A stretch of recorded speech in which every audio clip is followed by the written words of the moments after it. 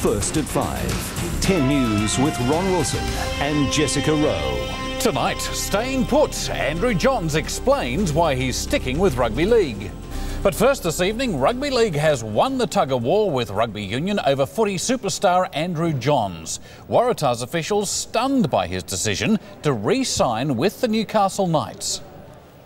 Andrew Johns sticking to what he knows best, finally choosing to play rugby league with his mates. I'm staying in Newcastle. It's a decision I've made, and um, you know, I said I was very impressed with the way the Waratahs conducted themselves, and wish them all the best. But now I'd like to stay in Newcastle. In the end, nagging doubts about how his battered body would cope with rugby and not wanting to leave his home, sealing the deal. It was a mateship, um, just how close all the, all the players are, and my mate's out of footy too. I'm really close to, and, and obviously the relationship I got with my little boy. There was growing speculation rugby could not come up with the cash, but officials had already written the media release announcing the coup. Disappointment etched on their faces. We're not a massive organisation, uh, you know, trading blows with, with, with a lot of big, uh, big, big wheels, and uh, we're there to the end, but uh, couldn't la- couldn't uh, make it in the last round. The best manager in the business stitching up a million dollar a year deal. In terms of the actual deal that was before him to play rugby league with the Knights and the actual deal that was there for him to play rugby union with the Waratahs, it was line ball. Johns' future in the media a major factor. The NRL's role in the battle also seen as pivotal. Andrew's a star. He's uh, arguably the best player in, the, in either code, and uh, we wanted to keep him in rugby league. There's no doubt about that. Um, you know, importantly, rugby league wasn't confused about what it wanted. The league determined to retain its stars. Rugby, however, unlikely to get dragged into another bidding war. Frank Coletta, 10 News. Sport is next for Tim Webster, and the league breathes a sigh of relief over Andrew Johns. Yeah, and Newcastle and rugby league fans in general. Jess, more shortly on Joey's decision.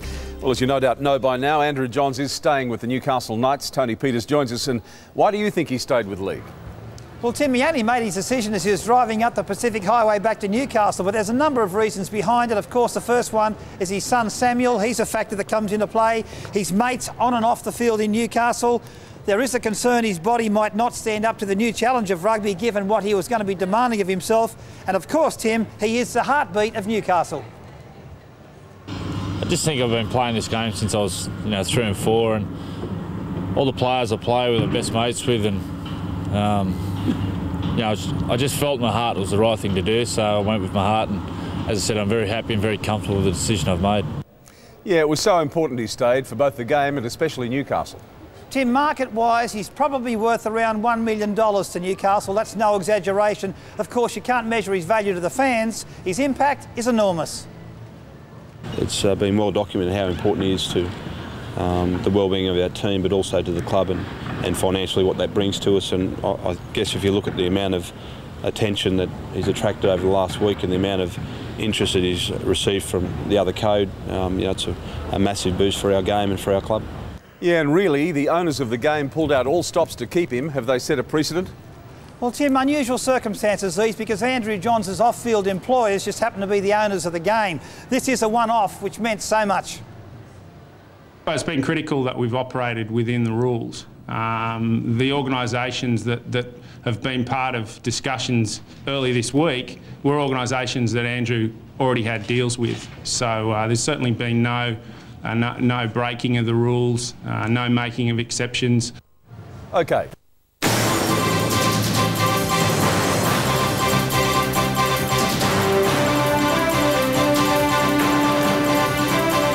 Andrew Johns rejects union and sticks with the game he loves. They say rugby union is the game they play in heaven. But today, Andrew Johns told them heaven can wait. The man who's arguably the best league player on the planet has knocked back a lucrative offer to switch codes, instead, opting to stay with the Newcastle Knights and the game he's known since he could walk. After flirting with what would have amounted to treason amongst his fans, Andrew Johns was happy to be back home. Glad that's over, mate. Don't know how much. And as he strode onto the ground that's been his backyard for 16 years, the world's best was greeted with open arms. Well done, mate. 100%. The decision that put an end to the suspense came this morning not in a boardroom, but on the lonely drive to Newcastle after a sleepless night in Sydney. Finally, I suppose, got some peace of mind and um, got some time alone to think and made the call. On the end of the line was Knights coach Michael Hagan. You know, the fact that he's agreed to stay at our club and uh, he'll finish his career here, I think it's a, a wonderful uh, day for the club and, and for him. And as he celebrated, it was obvious the decision was never all about money. I just think I've been playing this game since I was, you know, three and four, and all the players I play with, I'm best mates with, and And then, of course, was family, Johns' highest priority, his four-year-old son. you know, he's a- massive part of my life, and um, you know, yeah, that's probably a major factor to to stay close to him. The losers of this cross-code war were stunned by the news. The Waratahs were so confident they'd been gearing up for a grand announcement. We had a press release uh, welcoming him over to the Waratahs, and so it's a very positive release. We also had sitting on the desk today. With the deal from the Knights said to be worth well over a million dollars, the money unfortunately cannot provide Andrew Johns with a miracle cure. He's still battling a knee injury and is not due to play again until next season. Damien Ryan, National 9 News. Tonight, Andrew Johns explains his big decision to stay with rugby league. With Ian Ross, this is 7 News. Good evening. League's favourite son, Andrew Johns, is sticking with the game, rejecting a lucrative offer to switch to rugby union. Both codes offered big money, but instead, Joey followed his heart and re signed with the Newcastle Knights. After football's biggest tug of war, Andrew Johns walked into the Knights' home ground to tell fans he couldn't walk out on them or rugby league. I just think I've been playing this game since I was, you know, three and four, and all the players I play with, I'm best mates with, and I just felt in my heart it was the right thing to do, so I went with my heart. In the end, the thought of being separated from his son Samuel was too much to bear. You know, he's a massive part of my life, and um, you know, yeah, that's probably a major factor to stay close to him. Johns was driving on the freeway this morning when he finally made up his mind. The first person he called was Knights coach Michael Hagan. He asked me if I was sitting down, so uh, I wasn't sure how to take that. Rugby union officials thought they had Johns in the bag. We had a press release uh, welcoming him over to the Waratahs, and so it's a very positive release. We also had sitting on the desk today. Yeah, it's great to be sitting here with, with such great news for rugby league. Johns' decision to stay won't just help the Knights out on the field. It's estimated his presence in the number seven jumper brings in more than a million dollars a season for the club alone. You know, the fact that he's agreed to stay at our club and uh, he'll finish his career here, I think it's a, a wonderful uh, day for the club and, and for him. Johns joined teammates to celebrate the news over lunch. Oh, we're all over the moon. Yeah, we, want, we wanted what's best for Joey, but I think he realised this is probably what's best. I had the chance to go across, and I decided to stay in league. So, um, you know, I'll have no regrets whatsoever. Patrick Mollahan, 7 News.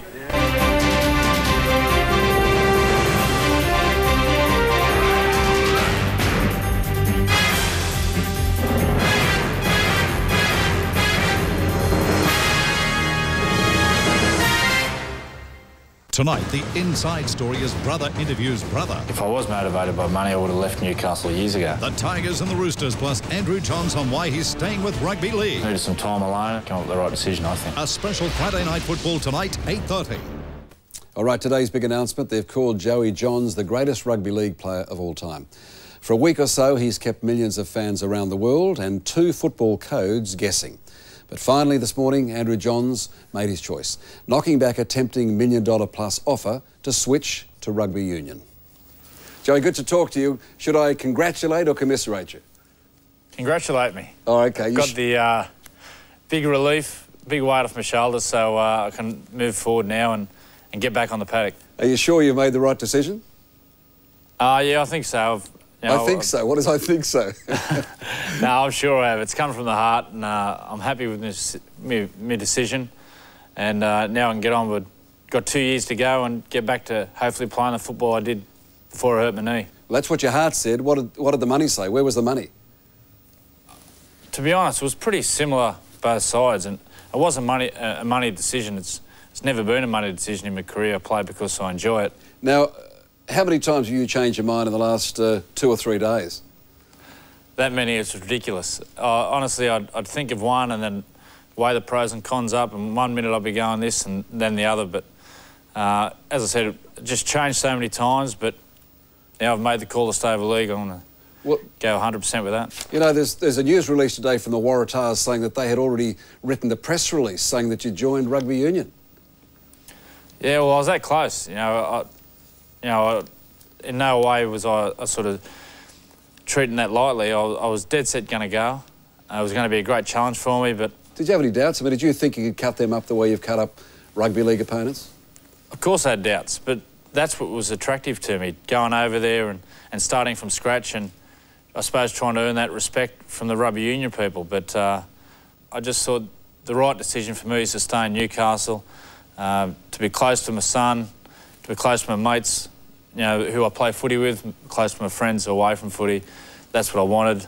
And in, this, in the end, the decision was fairly easy, I suppose. But you're regarded as the best player in rugby league, and some people say the best player ever. Wouldn't you have liked the challenge of being also the best union player? Definitely. That, that was something which would have really drove me and made me train that hard to do that. But you But, pulled back. um, Were you scared of failure? Yeah, I suppose I suppose a little bit. Yeah, I, I was a little bit scared of failure. Failure. Um, I suppose I looked at it, and if I went over there, and you know I'm 30 now, and it's no secret I've had some injuries. If my body couldn't hold up to to the way I'd like to play, then maybe I might have might have undone all the great work that I've done in league. But we'll never know. Yeah, you don't look too happy, almost as though um, you've made the decision, but uh, but still niggling away, nagging away is, uh, geez, have I made the right move?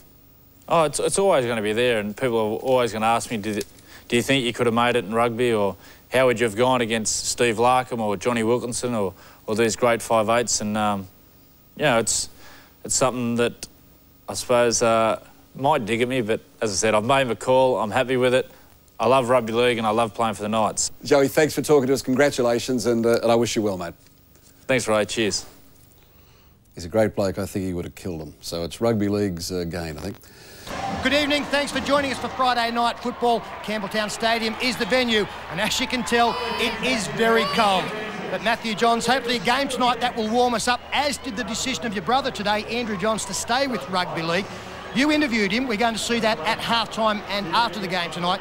Can you give us an idea of what to expect? Well, put it's a side of the Andrew that not many people get to see. I can tell you he's in a mood uh, that, is, as you can imagine, he's very much relieved but very honest as well. It's a good Uh, one. We'll see half of that at Holden halftime, the rest post-match. Now, of course, the big story this week, not just in rugby league, but in across the news, it has led news bulletins, the future of Andrew Johns. Today, the announcement that he will stay with rugby league. He has re-signed with the Newcastle Knights for another two years. Matthew Johns travelled to Newcastle today to speak with his brother Andrew, the reasons behind the decisions. Here's the first part of two parts of this uh, interview that we'll play for you tonight, the second in our post-match show. Andrew Johns with Matthew.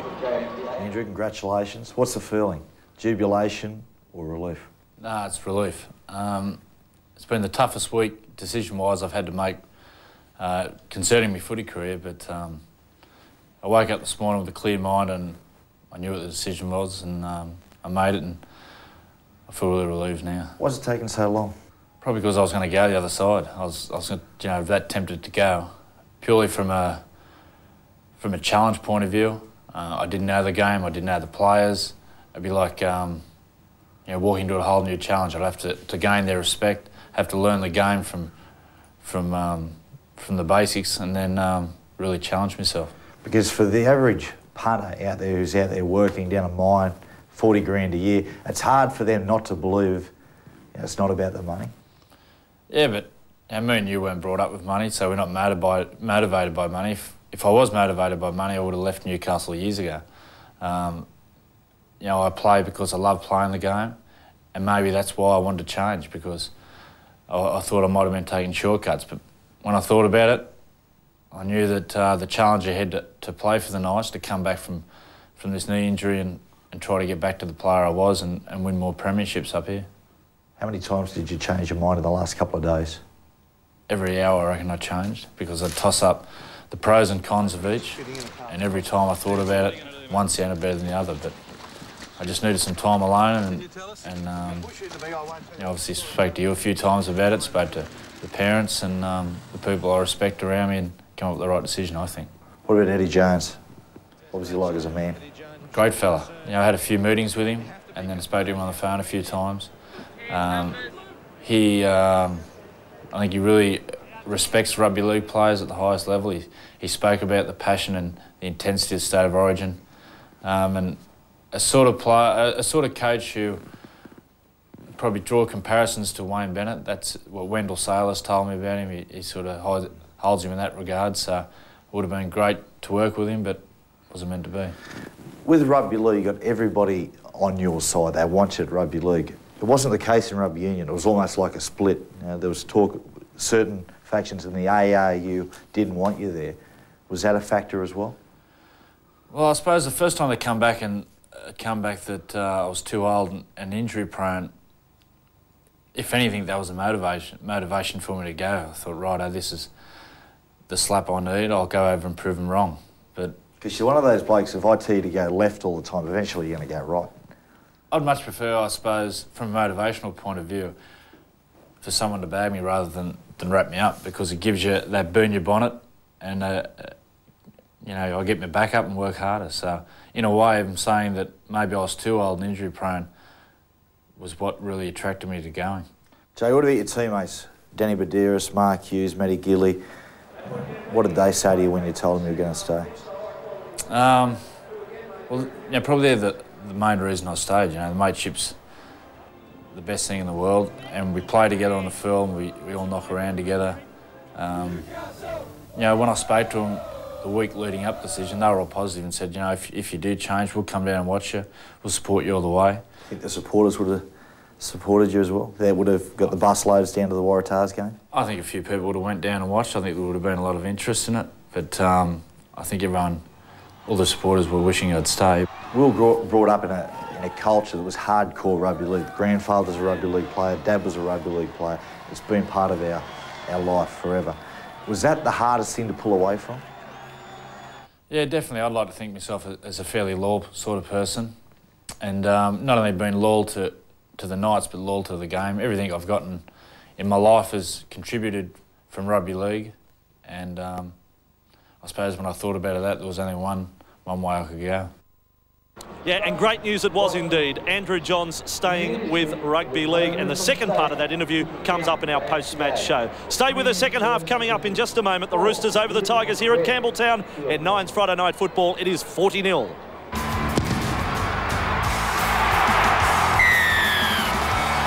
Holden, half-time. Stay right there. Now we've got more of our exclusive interview. Matthew Johns with Andrew Johns. We saw the first part of that interview at halftime, and now more on what has been a monumental day in rugby league. Andrew Johns staying with rugby league. Were you afraid of burning bridges by leaving rugby league? Definitely. Definitely that, um, you know, maybe if I, I changed the union, that if my body didn't hold up, then all the good work I've done in rugby league, um, could have been all undone. So that was that was a big deterrent, but also that's what attracted to me. It was the opportunity to go over and and uh, and work with, with players I never worked before with, and I suppose work that hard to, to gain their respect. What were they saying to you in the streets when you, you walk past them? Because yeah, they're pretty parochial, parochial up here.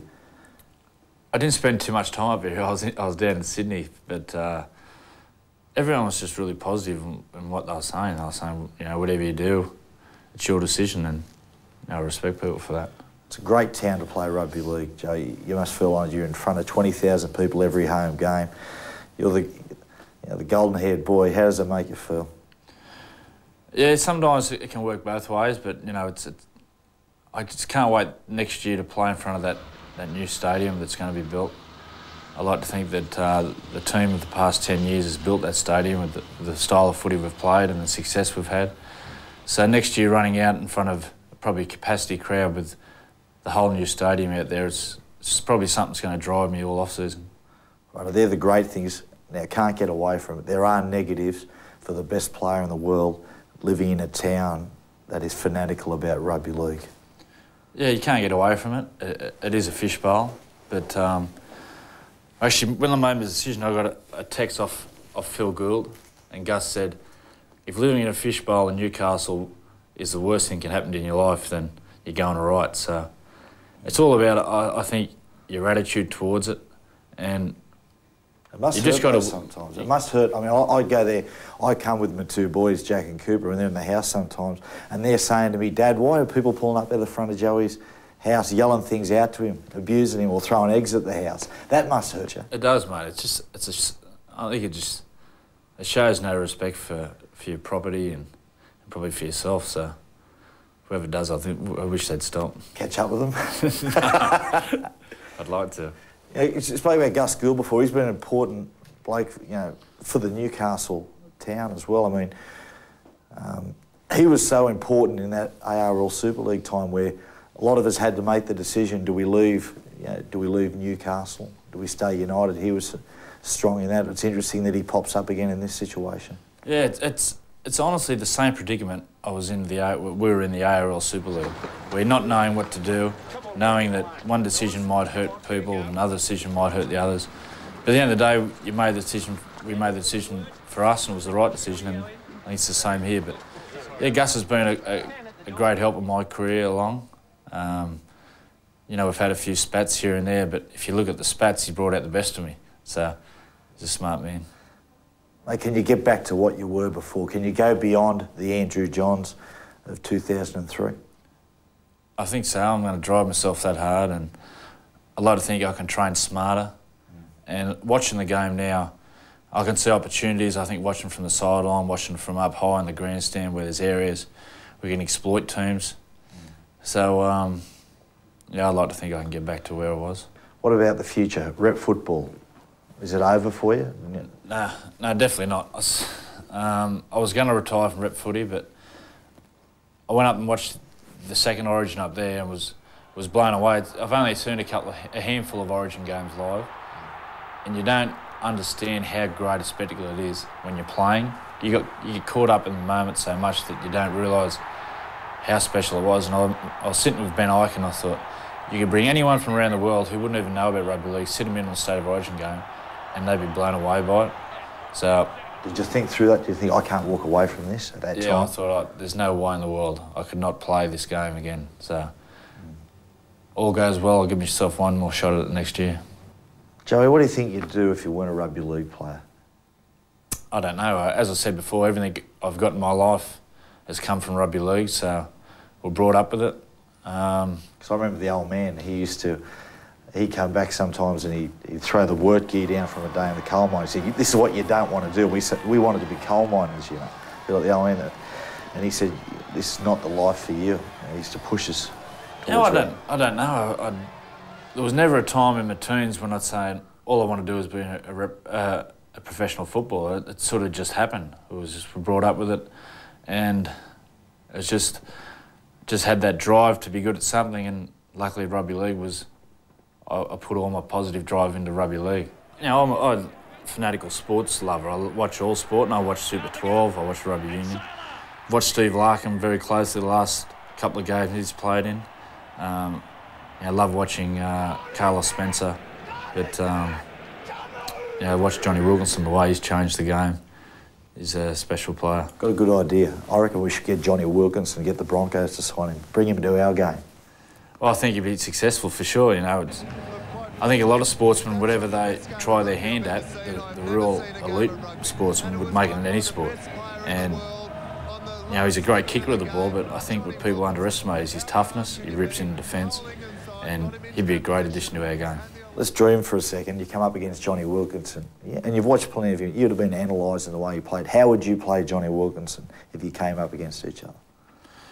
Well, the first thing, I'd, probably the first thing I'd do, the first touch of the ball, you just charge straight at him to let him know that you're not intimidated by his aura, and then um, you take him on his own game, take him on with your skills, and just pretty much take him on.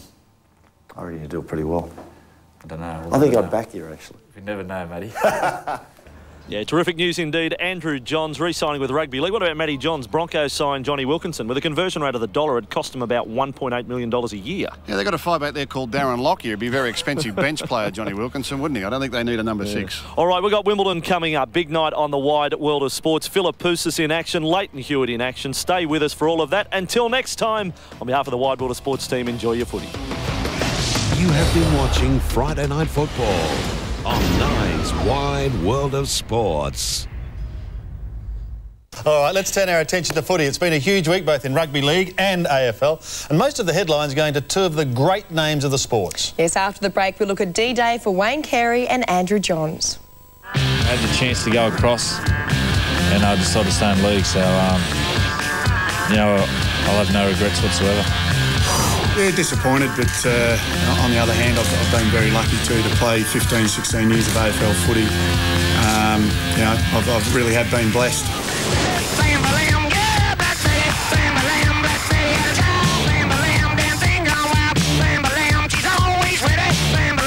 Uh, from AFL to rugby, because in rugby league there was another big name also causing plenty of debate. Yes, the world's number one player, Andrew Johns, had a huge decision to make. Stick with rugby league and his beloved Newcastle Knights or take on the challenge of rugby union. He stayed with league.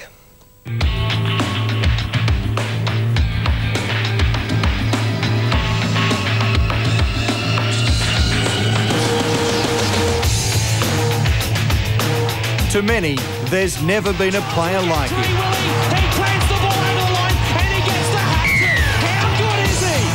A player who has it all. A swerve, a step, great hands, unbelievable kicking skill. And he can knock them over from the sideline as well. John started it out coming back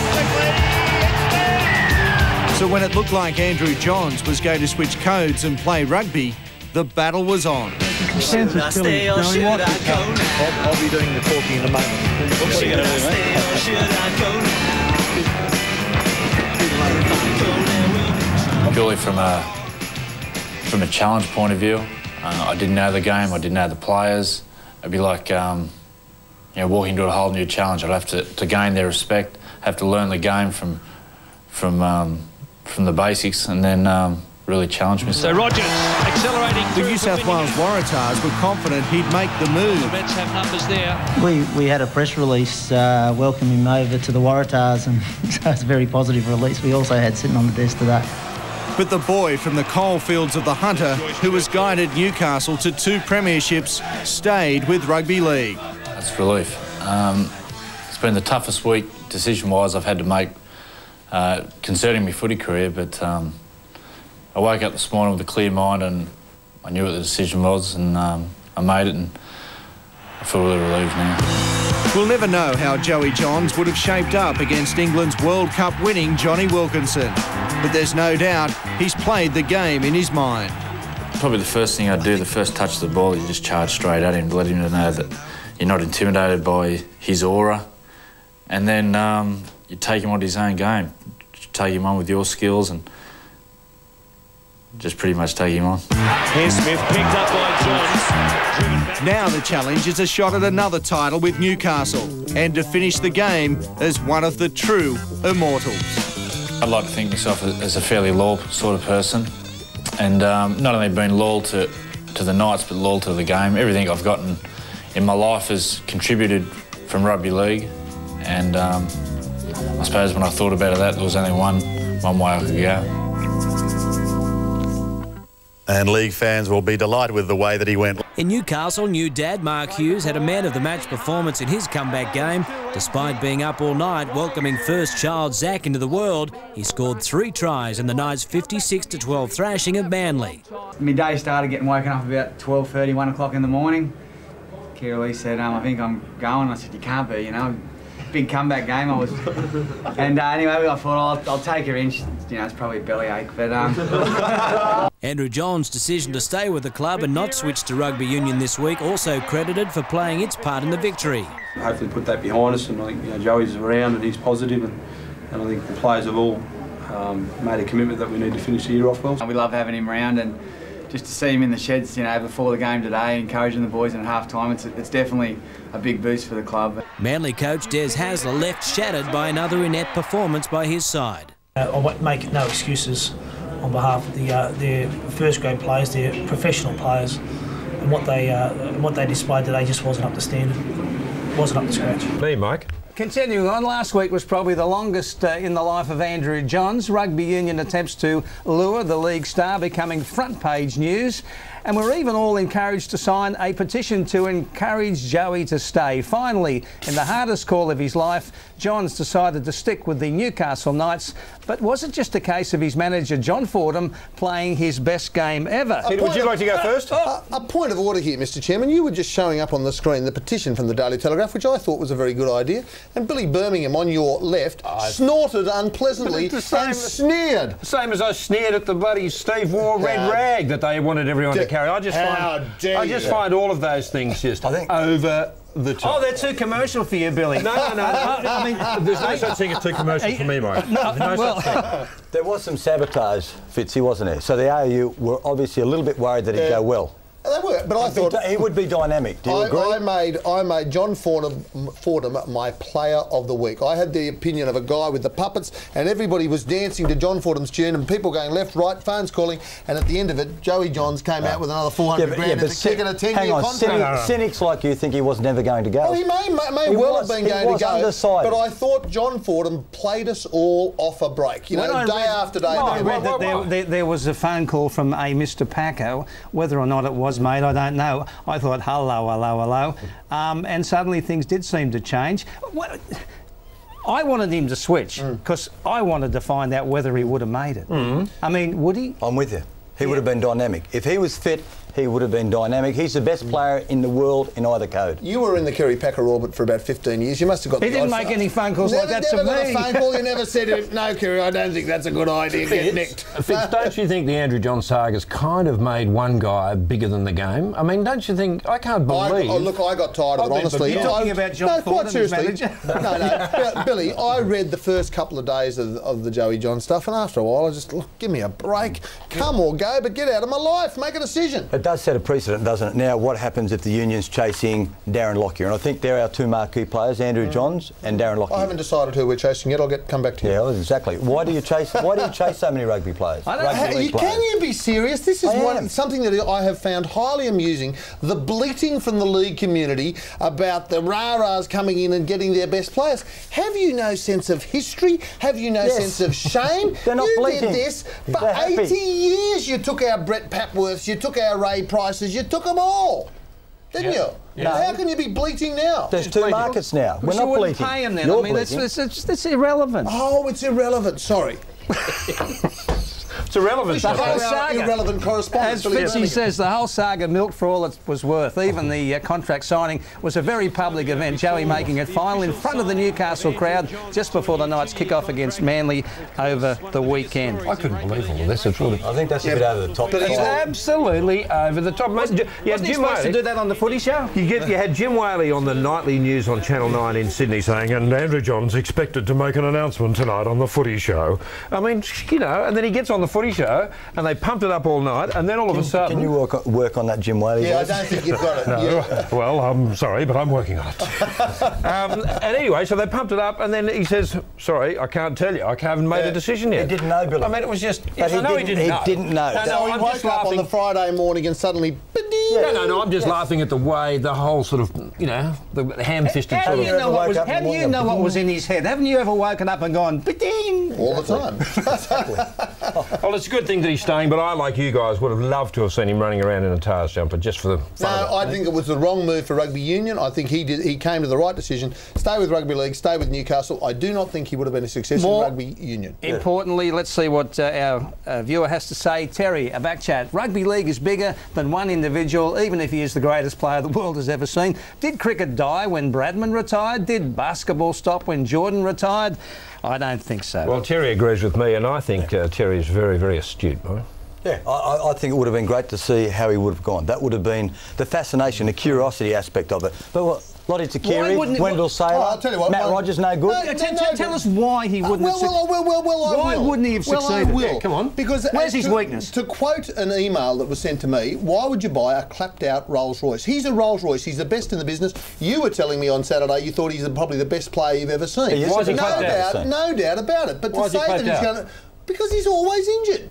No, he's Uh, not. that- He's yes, had he is. reconstruction. Rolls Royces don't get injured. They keep a clapped out Rolls Royce is better than a new. a- We'll see, there we'll is a slight- there is a slight risk, and obviously that's A what new was Daihatsu- worrying no, the ARU. shouldn't say but if he came Daihatsu. back fit and well, he would have been dynamic. Unequivocally, he would have made it. Yeah. Well, With we'll or see. without an And we're not NRMA gonna- inspection. That's the thing. On the off see. chance you ever grace We're this podium again, Ah, we'll no check worries. in a year's time.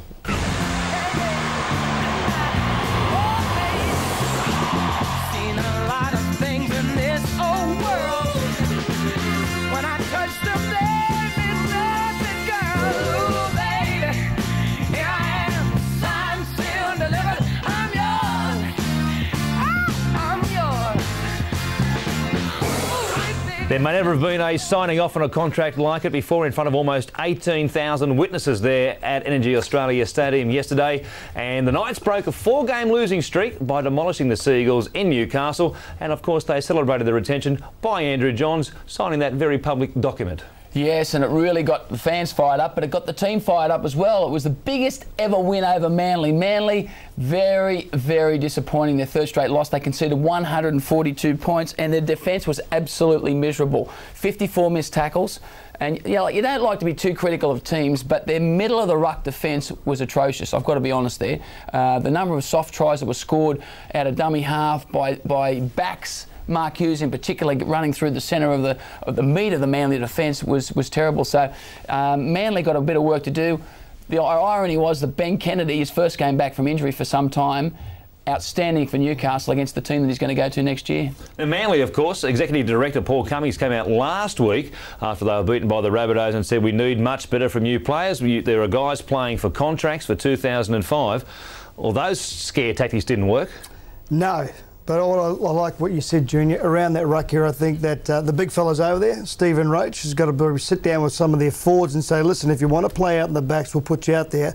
And if you if you don't want to do any tackling, leave that to the backs. Let them do all the fancy stuff. But around the ruck here, they've got to get tougher, get tougher, get meaner, get more aggressive. You can't let opposition run through you, though. That, that was embarrassing. And Des Hasler, he'd be very upset with the way they performed in the last couple of games, mate. Defence, defence, defence. I reckon they'll have those tackle bags out for about the next four days. Gets better this week. They take on the Bulldogs. Now, fantastic. Mark Hughes became a father yesterday, and then eight hours later gave birth to a hat trick of tries in the Knights' 44-point win. It was some sort of day for Mark, wasn't it? Ah, great. Look, it started off pretty uh, early for him, you might say, very late at night, and then he had to take his wife down. But once again, the Junior pointed out around the middle of the ruck, and there he is holding the baby. He'll be doing that later on that night. But they were just. They didn't get off the line. They stood, they waited, and when all the big guns, most of the big guns are back for the Newcastle side, they are going to be very, very hard to stop, mate. Especially with Ben Kennedy. You said that. I thought of his game and his the, the presence of him being on the field just changed the way that Newcastle played. All right, now this is what Mark Hughes had to say about what was a very eventful day. I I think it's uh, I've had a bit of bad luck the last 12 months of injury, and um, I'm thinking that maybe it's time that uh, that my luck's turned a bit today. With um, you know, I, my day started getting woken up about 12:30, 1 o'clock in the morning.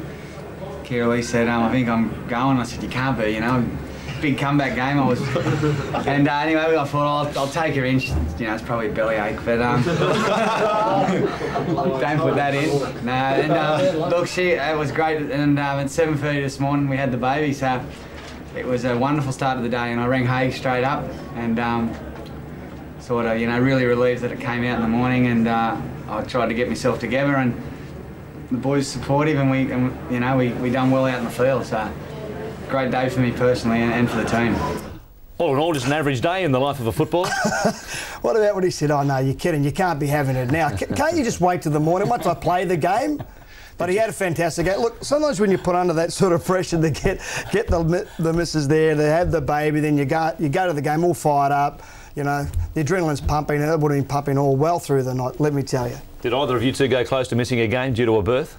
Oh no. No, I came home from training one night. I got absolutely flogged at training because we lost the previous weekend. Came home from training, my wife said, oh, I think I'm going to labour. I'm going, oh no, all I wanted to do was sleep. But certainly wakes you up. Birth of your first child, that's for sure. You put in the hard yards, mate, I'm sure. I did oh, indeed. I did indeed. now, Timana Tahu won't be playing in State of Origin 3 after injuring his heel yesterday. But before he came off the field, he was at his athletic best. It would have been interesting to see whether he would have survived the chop had he not been injured in this game. Well, I mean, he played an outstanding game. A combination, once again, Gidley and Tahu was, was outstanding. The footwork, the try, have a look at that. I mean, he's just twisted over, got it down. I don't know how he got that try down, but have a look at this here. You can see he's got the sideline linking up. He somehow manages to get it over before he goes into touch.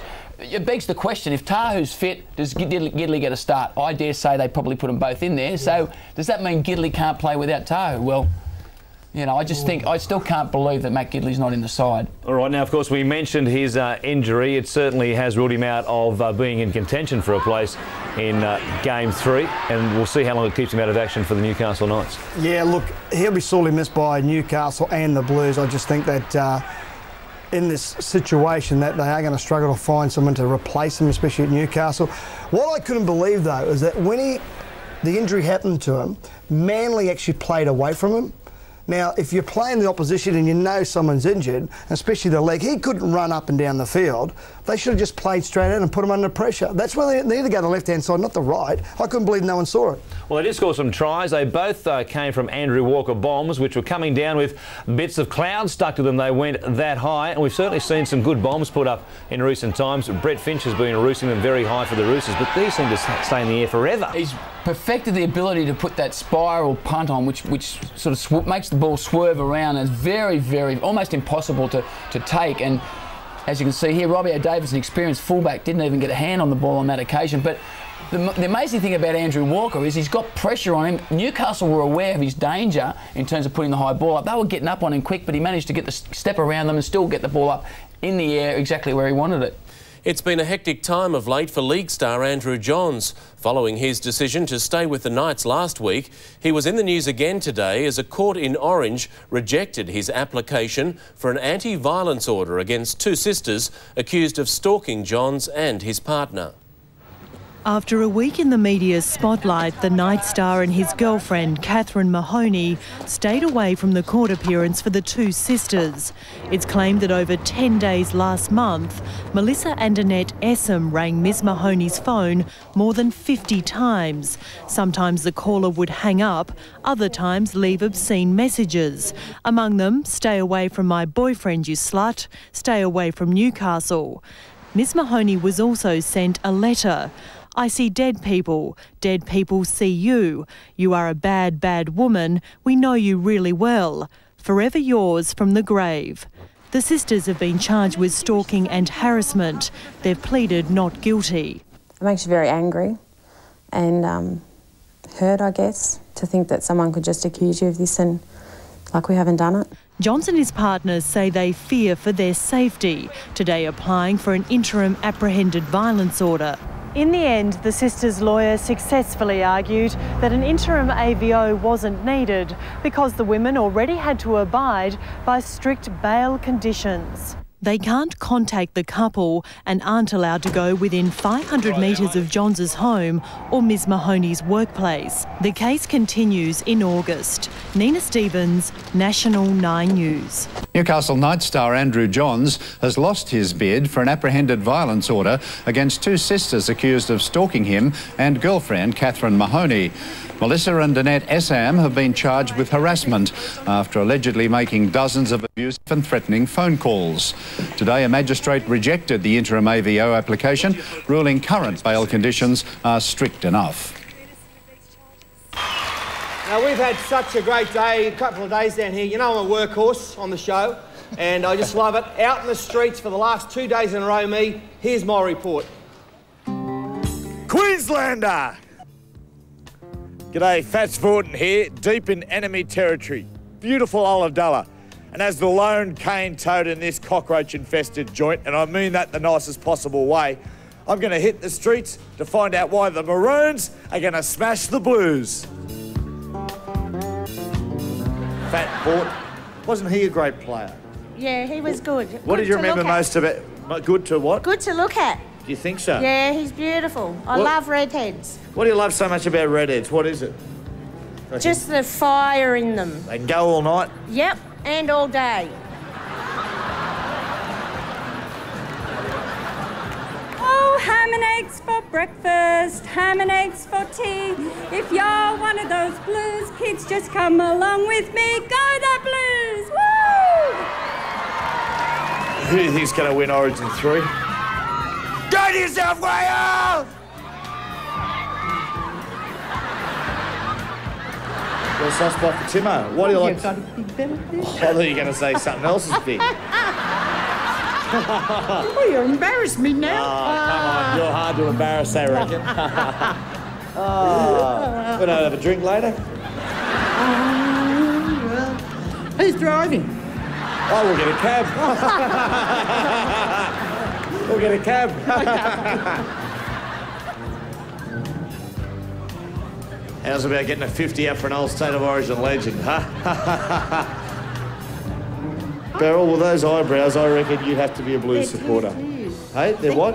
Are they tattoos? Really? And you got them specially for Origin 3? Yeah, I did. They're fantastic. Now, you, are they really tattoos? They are real tattoos because I haven't got any eyebrows. What about you get life or death on your arm or anything? No, eagle on your back? nothing. No. A lady laying in the back of a panel van? No others, no. Jack, Jack Cunningham, can I call you Jack? You certainly can. Jack, what player typified State of Origin more than any other? Paul Borden. Paul Horton, mate. You're a good man, Jack. good on you, Jack. Good on you. I like you, Jack. Can I call you Jack? You certainly can, Mr. yeah. Mr. C, maybe? Not Mr. T. no, Mr. C. That's right. That's right. JC. JC. Yeah. Jesus Christ. Or something like that. God, no, Jack. the trouble is I can't walk on water, mate. Can't. Oh, a lot of the old birds at the RSL reckon different. okay, then. Yeah. What did you say, my friend? Go Queensland. Ah, a good heart's hard to find around this place, Yes, mate. mate. Queenslander. Ooh, what was that last thing? Just clearing the phlegm. That gets, him, that gets them over the line. Do it again. Queenslander. Whoa. One more time. Queenslander. Queenslander. New South Wales. Queenslander. New South Wales. Queenslander. Sucks. Well, there we go. Ulladulla is an absolute fever pitch. And you know why? Everybody is going for good old Queensland. No, mate, Queensland, guys. New South Wales! Queenslander. New South Wales!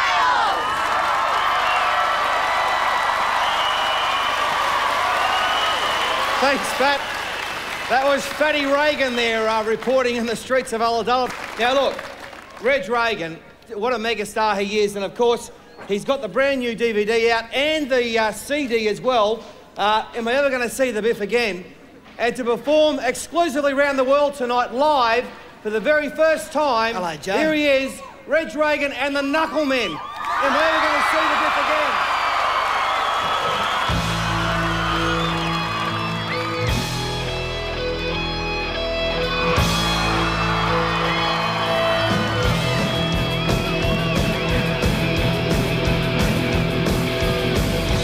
Down to Redfern just to see the rappers play.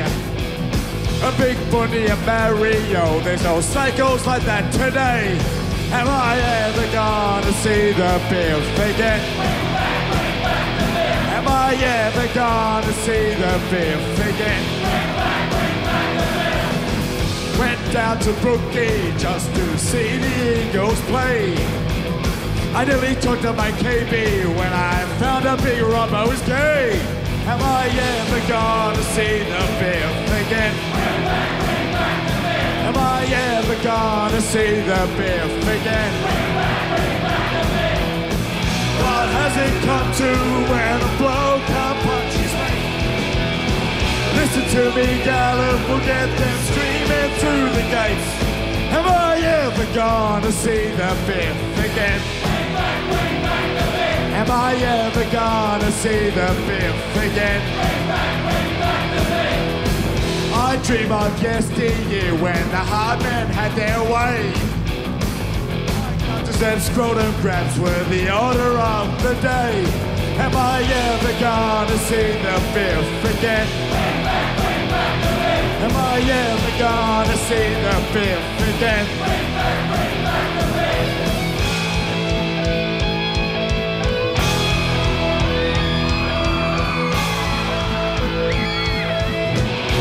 Cause he's running around today, there's no stakes for me to enjoy. Let me out of my terrible pond, bring it on for Reggie boy. Am I ever gonna see the biff again? Am I ever gonna see the biff again?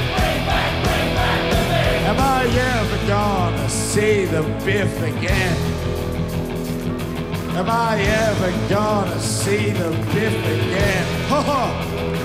Am I ever gonna see the biff again? Am I ever gonna see the biff again? Am I ever gonna see the biff again? Am I ever gonna see the biff again? Gonna see the biff again?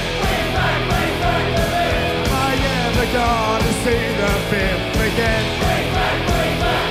We're gonna see the biff. Oh, that sweet, wholesome biff. We're gonna see the biff. We're gonna see the biff again. Oh, kids, you're out there,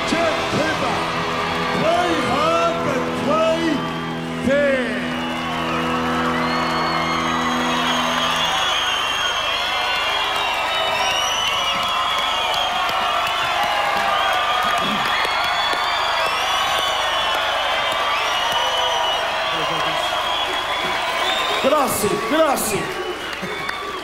well Very done, good. Reg. What about that? How good was that? Oh. Fantastic. That's Nailed a world exclusive. Excellent stuff. Uh, well done, Reggie. We're very confident because we know that Reg Reagan has actually been doing your conditioning once again and had a bit of a word in your ears. In fact, Reg has been out with training with the Blues, and here's how they went. Oh, Reggie boy's harder than a cat's head. And you want to know why? And you want to know why? Because it's time to crush the cane toads. And if the Blues thought they were here at Ala friggin' Dollar for a holiday, they were wrong with a capital R. And being the Blues' official conditioner and psychologist, Phil Gould has asked Reggie Boy to come along to get the boys focused and ready to kick some ass. Boys, just have your attention for a second. Just letting you know as the uh, psychologist, six days to go, guys. Just count 'em, six days to go. See, that's no respect, guys. It's not doing you any favours with Gus. It's not going to do you any favours with Gus. You'll be benched, Minichiello. What a pack of What's going to be like playing along, well, seriously, working alongside a legend on Wednesday night? Yeah, good, mate. It's a uh, big occasion for, for New South Wales. Good one for Freddie. I'm not talking about uh, bloody Oh, Freddie. who are you you talking imbecile. about? I'm talking about Reg Reagan, official Blues conditioner. Oh, you playing. Go on, son. Let's get into it. I want to say something. I've been around Ulladulla. Everyone's saying you are the best captain New South Wales had for many years. Fair dinkum, Reg. Um, Who was the captain last year again? Who was he? Hey, Johns, was it? Oh, that's it, Barjas Johns. Oh, you know where he's at the moment. He's at the gay bar with Eddie Jones and his ARU boys. What about Slater last time? How lucky was he? What a fluke that try was. Mate, I don't know if it was a fluke. It no. was a fluke. He's nothing but a goose. He's a goose. You hear that, Slater? You're a goose. Gobble, gobble, gobble, gobble. well, the rumour's going around that, well, no, not from me. Old man Fittler, Sir Freddie, has been going around telling them that you blokes are shirt lifters. Um, yeah, I think he's talking about Rolsey there, but uh, I wouldn't want to. Wouldn't want to be on the receiving end of him. Go in there. ah, you know what, Heine? I've been, I've been impressed with you this series. You're just, you're just, you're just a top bloke. Because when I, now before the series, I didn't like you. I thought you were a real asswipe. what What about Freddie, eh? After the big fairy tale romance finish? You don't rate him? No. Yeah, it disappoints. We lose Barjas. Now we get another prima donna that wants to run the show. He's been doing it for a while now, mate. There he is, Better hasn't he? him Hasn't he? yeah, Play yeah. with him every week. Fair dinkum. What a gay lord. What, what, what a girl. Oh, it's good fun to play with. Gay, hey? I think. In the showers. Smell that, Freddie? I farted.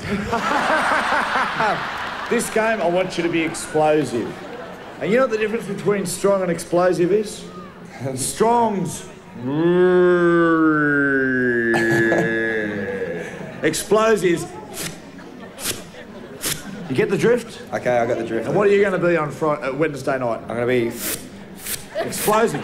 Well, there we go. I'm signing out from the Blues camp. I tell you, I'm pumped. Freddie's pumped. The Blues are pumped. Gus is pumped. Ulladulla's pumped. See you later. I'm Red Dragon. I'm Freddie. Go and get stuffed.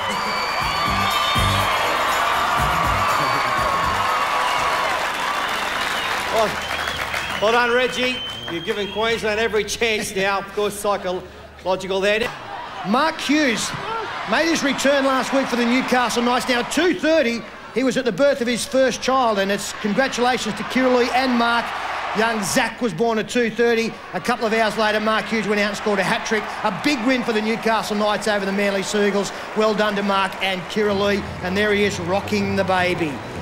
Good on you, Hughesy. One of our footy show favourites. Gus, I didn't think I'd ever see a better hooker forward than Steve Walters, mm. but I reckon we found one, Danny Buderus. Yeah, he's certainly been, uh, you know, doing all those sorts of things that Steve Walters did for the Raiders for all those years. Uh, he's also a great leader too. I mean, he's in the infancy of his of his captaincy. He's been doing well with the Newcastle Knights. Been very impressed with what he did with the Blues, and uh, we've got a special feature on him right now. Danny Buderus is the 14th captain of New South Wales.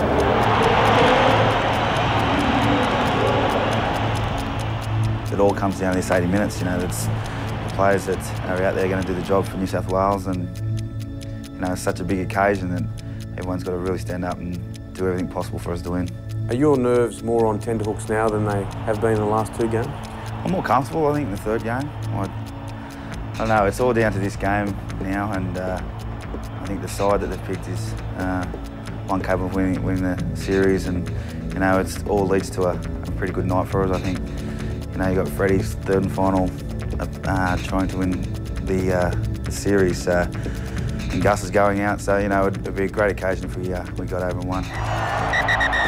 Origin 2 has been won by Queensland. How'd you feel when you walked off after Origin 2? It was weird because I think we, we played pretty good to win, uh, better than them to probably win it. But uh, they got some great tries, you know, very um, skillful players in their side that, you know, obviously Billy and, and Lockie combined there to put them over for a few. So uh, it's, um, it was a feeling that we, we should have won and one that got away, but... Was it gut-wrenching though when you walked off? It was. It was, it was such a quick game and, uh, you know, the, the crowds, the, the fans were just going berserk and they really appreciated the game and I think everyone's got what they, they want now, a third and deciding game. What about as captain? Are you a better captain now than you were in game one?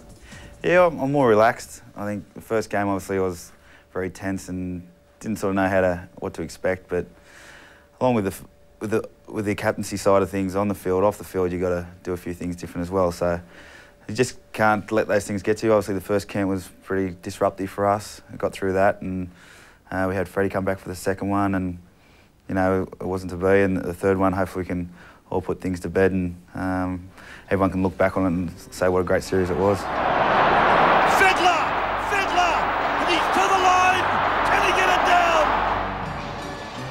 So when Brad Fittler joined the squad for Origin 2, did he bring a calming influence to the side? Yeah, I think he, uh, for sure, it was, it was a different sort of feeling. The experience that Freddie's had in Origin, it's, you know, it's nearly a, a season of Origin games, 30-something games, and to see someone like that in the side and playing alongside someone, and you've got these young players like Luke Lewis and that, just dreaming of playing Origin and to play it with uh, Freddie as well, and I'm in that same boat as well. You don't really, um, didn't think you'd play many more games with Freddie in at Origin level. As a Cub captain, as a new captain as you were when you came into the series, how much did his presence help you? Yeah, immensely, especially off the field. I think Freddie knows, um, you know, how to get the best out of the boys, which is great. And you know, hopefully I can put my my touch on things as well. And you know, and obviously Gus is the master of getting everyone up for the game. So you know, it all combines, and hopefully it all comes together on, th- on Wednesday night. You're pretty close with your family. A lot of them come down to watch you. How, what sort of impact do they have, and, and who do you talk to in your family when you've got a quiet moment, just to sort of settle yourself? No, no, obviously, mum, mum and dad come to, to most games, and my brother Brock, he's, he gets along, but you know they're, they're behind me 100% whatever I do, and um, you know sometimes definitely in your mother's eyes you can't do anything wrong, but dad can sometimes, you know, he'll have a bit of advice for me. So, but so they're not um, big rugby league background from those from mum and dad. Dad doesn't know quite the technical side of things, but he um, no, he just makes sure I enjoy myself. What does he pick up? Does he pick up a missed tackle or uh, something like that? Yeah, yeah, he, he does. He picks up those sort of things, and but uh, Dad's not one to try and tell you how to fix it. But uh, that's why you got all your coaches and that to do it. So what do you say to the blokes just before you go out? You're the captain. Um, obviously, you're not going to get up and make a massive speech, but what are the essential words you'll say to them? Just I don't they don't need to remind about what a what sort of game it is and how big the importance of the game is. It's uh, it's huge. You know, it's one of the biggest games I'll ever play in. So I think everyone deserves it to themselves to go out a winner. I think everyone's played a massive part in the in the series. Players that are there and aren't there, and just how many people would love to be in their position, and you know they can go down in history. Finally, has it got a bit of fairy tale about it? Brad's farewell? It has. It has got a a lot of things lead towards a win for us in that sense, but uh, a lot of work's got to be done between there and then and before we can say that. So you know, there's a lot of things that you know players might get another chance to play Origin or whatever, but this is their time in Origin, and this is the part where they can create a bit of history.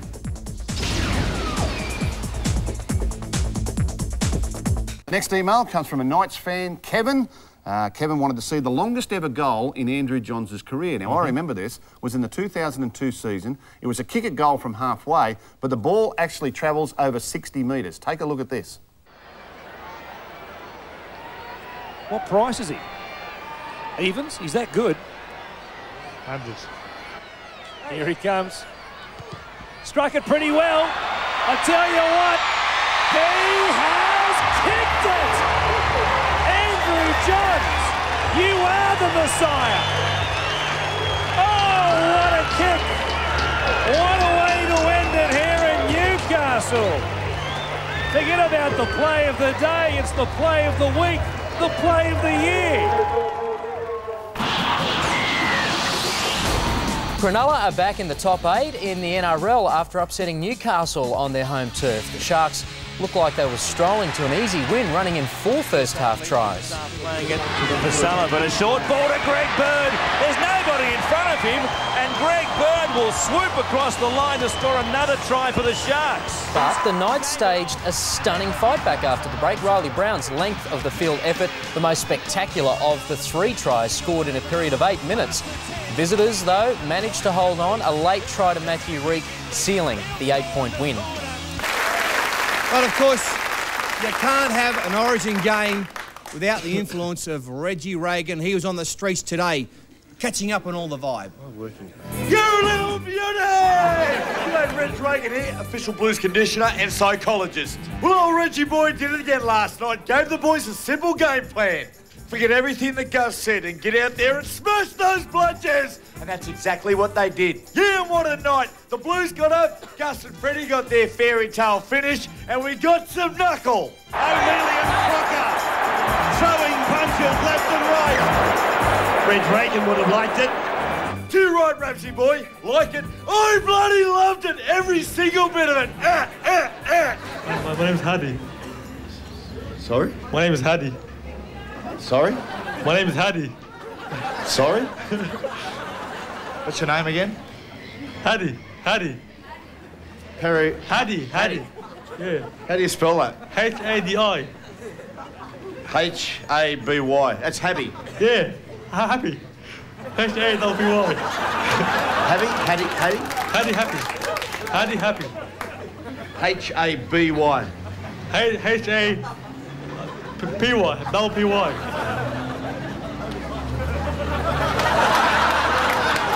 Nice to meet you. Nice to meet you. What did you do after full time, old son, when they had the series wrapped up? How do you celebrate these days? I got pissed. What's your drink of choice, old boy? Johnnie Walker, Scotch whiskey. Give us a smell of your breath. Hey, what did you do last night when the boys got the result? What did you do at full time? Well, mate, I was cheering the whole game. Actually, every Queenslander I seen on the way out, I was giving them some, giving them a bit of biff. What'd you say to them? I said, mate, go back to Queensland. Don't come back here. Don't come to our pl- territory. Mate, that's classic stuff. And what else to say? Mate, I said, what about O'Meley? Give it to Crocker. Wasn't that great? Give it to That was awesome, Reg. It was, it was awesome. What else to say? Mate, I just said, don't come back. That's oh, so clever. No, mate, that's awesome. What else? Anything else? That's about it, Reg. Oh, did you really? That was great, wasn't it? Hey, you Blues supporters? Man, your stomach is very close to me. That's not my stomach. you born in New South Wales? No, Tasmania. Tasmanians, Yeah. eh? So, you guys are married or brothers and sisters or anything? Four years we've been married. Very good, eh? I think 54 years, at the very least, deserves one last passionate kiss.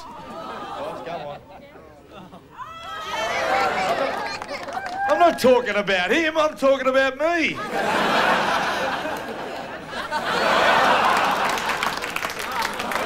Happy birthday. Uh, I can take the boy out of Tasmania. And the boy, put the boy back in. oh, No, take him out, he won't go back. what do you think of the state of origin last night? I didn't watch it. Well, you missed out on a lot, let me tell you. You should have seen old Gussie Gould, hey? When they scored that winning try to seal the game, he's doing this. Hoi!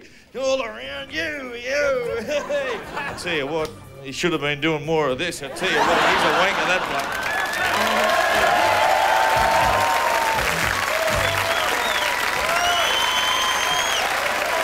Reg Reagan there on the streets of, look, was that Parramatta that Reg was at? Yeah, apparently went out to Parramatta. Yeah. Well, and you got you, you can't get away. That's two series from two for Reg as official blues conditioner and psychologist. Mate, he's a good winner. You should He's be a great winner. Good You winner. should be very proud of him. Speaking of Reg, Rugby He's League everywhere. week. This week, you've a special bonus. You get to bring back the Biff sticker. Yeah. And your Rugby League week, only place you can get it, so get out and buy Rugby I League saw week. one on the back of your car, Fat. Yeah. Start. I had one on the back of my car. I got out and someone hit me. I tell you what, I was in the dressing sheets as well, and look, Mark Bouris is a very generous guy, great supporter of the Wizard Blues. There's Gus Gould having his speech to the boys, but uh, i got to say, I was so proud of Danny Buderus, so I think he's come on leaps and bounds. He handed the rings out and gave the boys a bit of a speech. Ronnie Palmer, one of the great stalwarts for New You South know what Wales. Gus but did? It was Gus wonderful. gave his own ring that he got because he got one uh, last Friday at a special Yeah. luncheon for him. He gave his own ring to Ronnie Palmer. That's uh, that's, fantastic. Great gesture. Yeah. I'll, make a, I'll make a comment on Danny Buderus. He's, he's just a champion bloke. He just works hard, just does his job. Nothing ever, nothing's a fuss. And he uh, just soul of the earth bloke. Mate, uh, Newcastle should be very proud of him. Yeah, well said, mate. Stay with us, Freddie, because there was another highlight last night in commentary. Andrew Johns has been outstanding in the series. Uh, we were talking about a decision made by Luke Lewis on the Queensland try, and, and this is how he summed up the situation.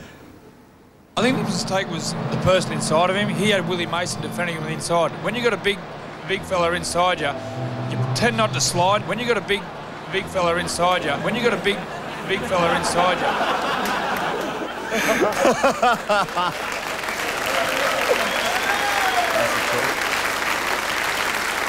Well, Chief, obviously we've got to go to you on this one because you are a big man. Have you had, had any complaints? What? No, I can not. tell you there will be no big fellows. No, no, mate. No. Mate, you ever been in the Navy, Chief? I haven't been in the Ever Navy. been in mate. jail, mate? No, mate, I haven't. And I don't enjoy gladiator movies either. Quit it. Well, you wouldn't want Big Willie inside. No, I don't. want- sure. All right, we've got, uh, the post-match interviews. How now, I these get are with that? Very, very popular with uh, all here. the fans out there in uh, television land. They love watching these. This They've is done it a uh, little bit differently. Yeah, a bit differently because you see the interview plus some footage. Uh, so here's Chief and Timmy Gilbert in the dressing rooms after the match.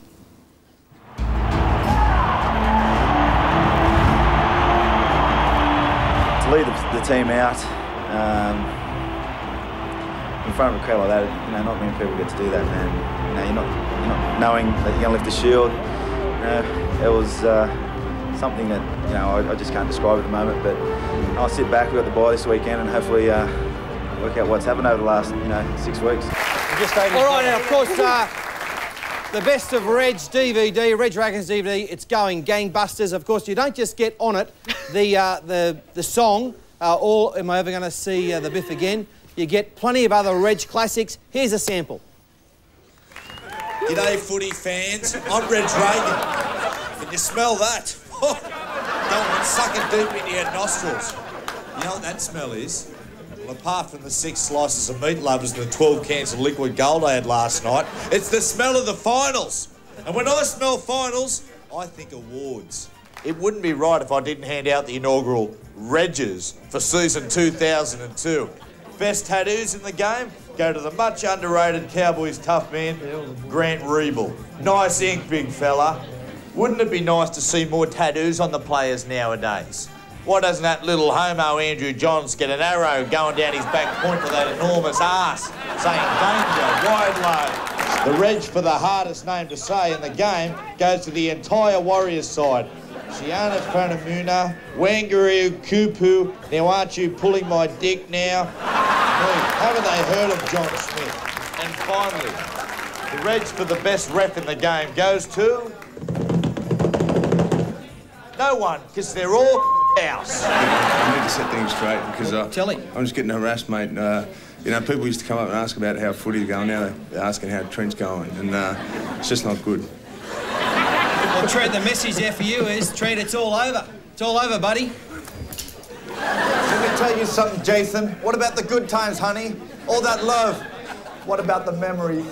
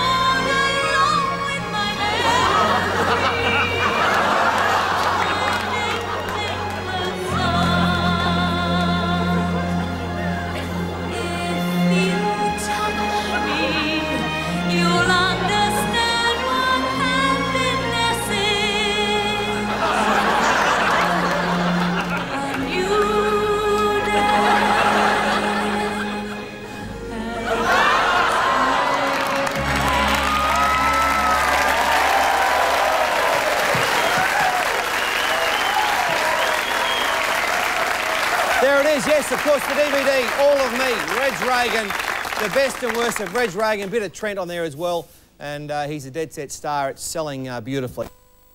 Parramatta's won the chase for Newcastle's Timana Tahu, signing him to a three-year deal believed to be worth $1.2 million. Now, state of origin coaching can be fun.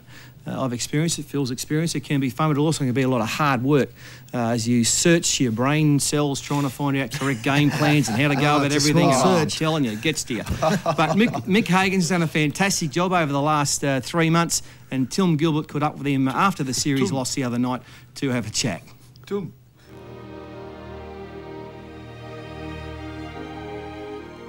You've just coached an Origin series. How'd you enjoy it? I enjoyed it a great deal um, up until the last 40, 50 minutes of that football game. But, um, you know, I think if we uh, assess it over three games, um, you know, went within a whisker in game one, played very well in game two, and um, we were just simply outplayed tonight by a, a very good football team. Is there the young ingredients for a real positive and big side in the future, this Queensland side? Oh, I think there certainly is. I mean, uh, we had a lot of players that came into Origin this year for the first time, and um, it's pretty hard to stop them scoring points on you. Do you think you're far from it? It it never looked like you were too far away, particularly, uh, we'll say, early up until early in the second half.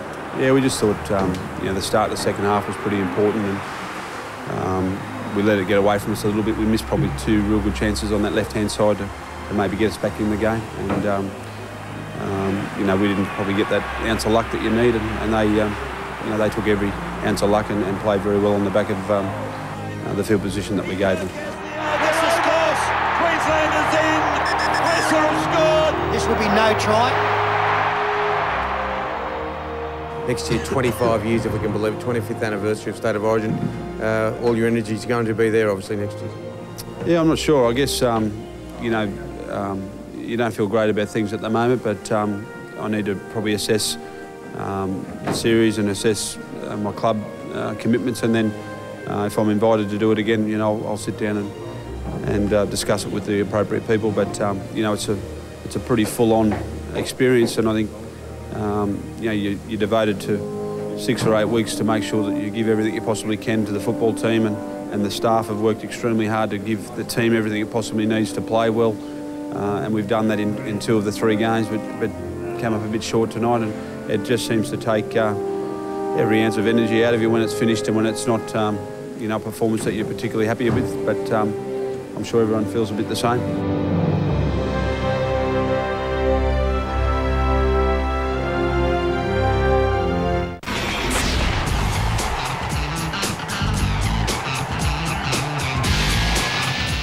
Welcome back to the Sunday Footy Show and around the grounds with a difference today. We're going to call it the stock take, the player stock take. Tell you your club, who they have signed, who they have lost, and who is unsigned as it stands midway through round 18. Club I'm concerned about, and I'll ask uh, the boys about this in a moment. Newcastle, great that Andrew Johns has re-signed, but look at the talent they're losing. Kennedy, Tahu, Ennis has gone to the Dragons. Matt Parsons won't be offered a new contract.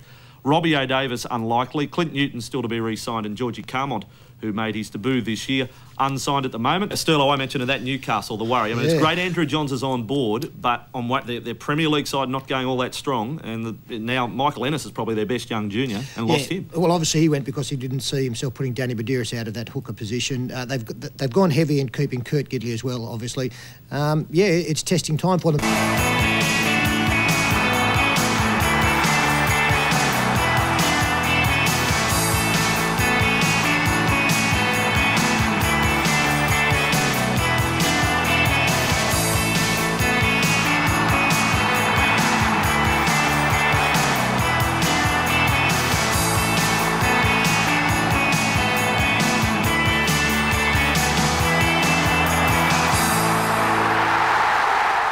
Footy fans. Good to be with you as always on a Sunday for Boots and All. A lot to get through today, Gus, including the winner of our Adelaide Rams Great Moments competition. One lucky viewer wins the Adelaide Rams watch. Wow, I cannot wait for that. And as good as that might be, it's not the only highlight on our show today. Here's a preview.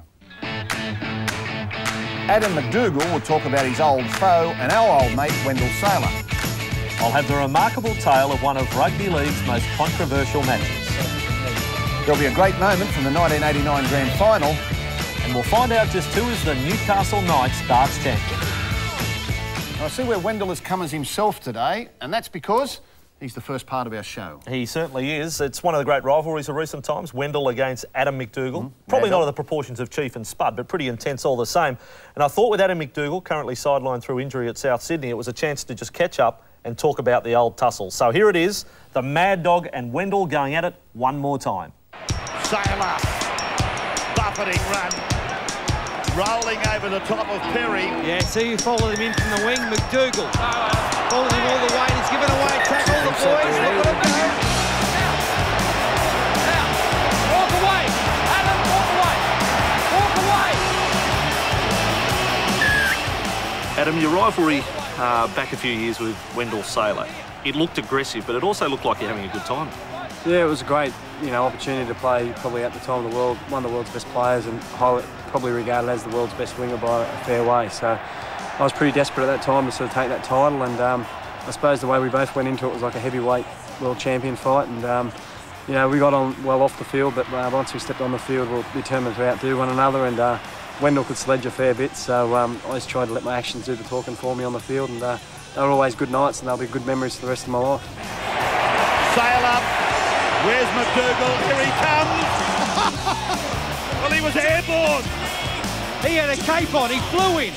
You remember that night in Newcastle in particular? I mean, Fatty did describe it well. You've flown in like you had a cape on. Uh, you were going after him. Yeah, well, that uh, about three nights before they beat us in the third Origin, and uh, he was pretty proud about that, and he's sort of reminding me of the fact that they beat us in the Origin pretty convincingly, and uh, they were picking a test team that night, so um, you know I was desperate to be in the side, and so was he. So uh, we were both uh, like a dog at, a bone, and we both wanted the same thing, and uh, there was a lot at stake, and. Uh, as I say, there's no mates on the footy field, and uh, that night, um, you know, I just uh, had a point to prove. One battle you can say that you had a, a big victory on him was a game at ANZ Stadium where you spoiled a party for Wendell Sailor, the stealing of the ball, runaway try. Yeah, without sounding big-headed headed here, um, I don't think there was never a night where I didn't get over the top of Wendell, and I hope he's watching. So. Well, he's here watching behind you, you know. but uh, he'll, he'll get cranky about that. But uh, Yeah, well, I suppose that was a big thing for me was the fact that you know every time I did step out in the field, whether it was against uh, Wendell Sailor or Matt Rogers or Roddy Tuqiri, looking back at you know all the tapes and probably looking back after I walked off the field, it's one thing I can say is when I come up against the best, you know, I always walked off the field knowing that you know I'd held my own and I always uh, you know probably if not outdid them. So that's something I can always look back on I'm pretty proud of.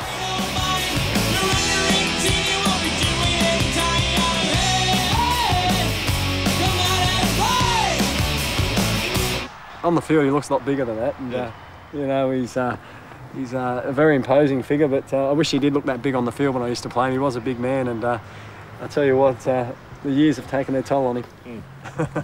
uh, Wendell Sailor. He should come back to rugby league. Let him go at it again. Anyway, Vossi, it's time for a big darts challenge. Now on Boots and All, carrying on the tradition at Channel 9 of high quality sporting contests. It's time for the Boots and All Darts Challenge.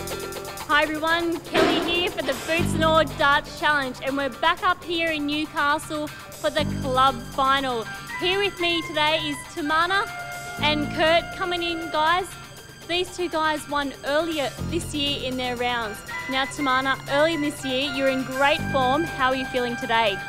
I think uh, last time was a bit of a fluke, and um, I'll just see how I go this time. Now, Kurt, how's your training been leading up to the final today? Uh, very quiet. Haven't been doing too much at all the, on the dart side of things. Well, no, Timana has that. Well, it looks like the boys are very nervous, Bossy. Who's on the board? Kelly, because it's a final, we've got some big names on the board today. 60 point cards. The very hairy Fred Pagano, the South's prop. John Dorry, good looking moustache there from his manly days. Likewise, Steve Rogers. Bill Clahessy, former Western Suburbs front rower. Matt Parsons, great front rower of the modern era. Royce Simmons from his old uh, chocolate soldier days. Barry Wood, terrific moustache in the old North Sydney jumper. Frog's Eyes Russell Gartner. The bonus card worth 200 today. Slam and Sam Stewart. You'll lose 100 though if you hit Gennaro Panzerino. For the final, of course, from the International Darts Federation, Cyril Bentworth keeping a close eye. Very hot inside this gymnasium. Will that affect the darts? Most definitely, Andrew. Thanks for the insight. Darts away. Yeah, the Newcastle gym again, the scene for the final. Would have been nice to see a shake of hands before the start of the match. And there it is there. in the true tradition of darts. Timana Tahu first up. Born in Melbourne, Victoria. 200. Straight away on slamming Sam Stewart. 200. Look at the style. Kids, you need to watch this closely. 400 the score. 60. It's Frog's Eyes Gartner. That's 460. No score. 460 the score. Needs something big to finish. No Doesn't score. come up. 460 is the score to beat. Kurt Gidley, has he got it in him? Former butcher. Stood behind the butcher shop with his brother for many years. 60. What a turn on that dart. 460 to boot. Oh! He loses the first 60. Zero. Zero. Zero. He needs a big finish. I don't even know how he can win from here. He gets 200. Gutsy performance. 200. I'm afraid 400 isn't good enough. 460. Timana Tahu wins, Kelly. And that's it. There you go, Timana. You've got $13.35. Congratulations. And uh, Timana too, the trophy too, which obviously be pride of place in the mantelpiece. I'd like to thank uh, Boots and All and Channel 9, and uh, if there's any money in darts, I might become a professional. We'll have another Darts Challenge final next week, but after the break, there's a miracle try from Manly.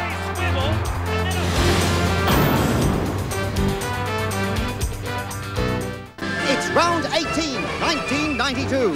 And Newcastle's teenage winger, Robbie O'Davis, delivers a miraculous pass to Mark Sargent for a try in the Knights' win over Cronulla. Absent from Newcastle training today, Timana Tahu, bound for Parramatta next season and suffering an ankle injury that requires surgery, Tahu may have played his last game for the Knights. We were hoping that he'd be part of our plans to get us home into, into a semi-final situation. So, um, you know, we'll just have to wait and see whether that happens or not. Right now, look, um, Reggie's been out and about again. Of course, South Mario Falcons, South on fire, mate. You're one of the great bunnies of all time. Very, very, very excited about South. Uh, Shane Richardson's there and uh, Sean McRae next year. So it's good for the game if South come good. It'll take them a couple of years, but with a bit of luck, they'll be more competitive next year. But it's very exciting about the Rabbits. Unpredictable uh, defeat over Panthers and uh, sensational. Well, Rabbit Fever has caught on, and Reg Reagan went to the streets of Penrith today and caused some mayhem.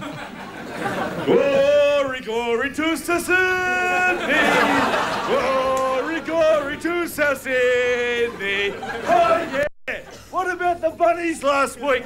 Sticking it right up the reigning premiers. Oh, yeah, they turned the Panthers into scared little pussies. And they built them all around the bloody park. Remember how cocky the locals were last time Reggie Boy was out here at the foot of the mountains? Go you Panthers! Three, two, one. The Penrith Panthers are premiers. Well, after last week's pathetic effort, it's time for the bludgers round this joint to start eating some humble pie. Reagan style. what way did you go for here? I got the Penrith. Now, who do you really go for? Penrith. Ah, ah. Last year premiers, this year they just they go they, they are. What about bloody Gower? What about bloody Girdler? Hey, what about bloody Puletua? What's another one? Oh, holy hey! You guys must be just crapping like there's no tomorrow. That's amazing. That's as nearly as crap as the Panthers. Nothing, there's nothing wrong with this joint. Oh, there's nothing wrong. I know there's. And one thing about this joint's got a lot of good-looking birds. That's Oh, it's got lovely birds. So what do you think of them now? After they got good. smashed by the rabbit like they're not. They are. They're You not go good. through They're, they're a bunch of pillow biters. Langy, your mob's a bunch of pillow biters. a good sort. Are ya? Yeah. You found one. Oh, oh Jesus, Oh, Mary give and Joseph. Oh, I'm always going to can be anyone you want me to be. Hey, you what? I'm a rich widow. Are you really? Let's go and get a drink, eh? Come on now. What's your drink of choice? A drop of whiskey. Drop of whiskey. Let's have ten, eh? There's a tear in your eye, and I'm wondering why, for it never should be there at all. Oh, so gorgeous. I know, love. Well, let me tell you something. Ten drops of whiskey and I get more than a hug. Oh, yeah? I'm out of practice. I'll tell you what one of the problems are. Have a look across the road. Look at Rhys Wesser. He's not a trainer and he's standing there cruising for chicks. Go on, Rhys. Get back to training, son. He's got to get the ghetto blaster in. Put it on. Play some motivational music. Uptown girl. She's been living in her uptown world. Yeah, cruising for some cigars or some blokes? Yep. oh, bloke, both? Both. Always both. Mm, awesome.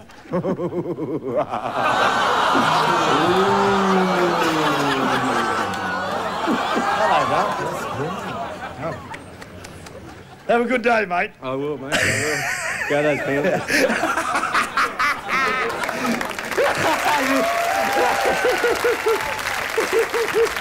hey, girl and your merry gang of Gaylords. Look what you're doing to the good people of this community. Look at this bloke. He's not happy. Are you happy, mate? Nah, mate, not at all. He's not happy. I'm not happy. I'm Reg Reagan. Go and get stuck.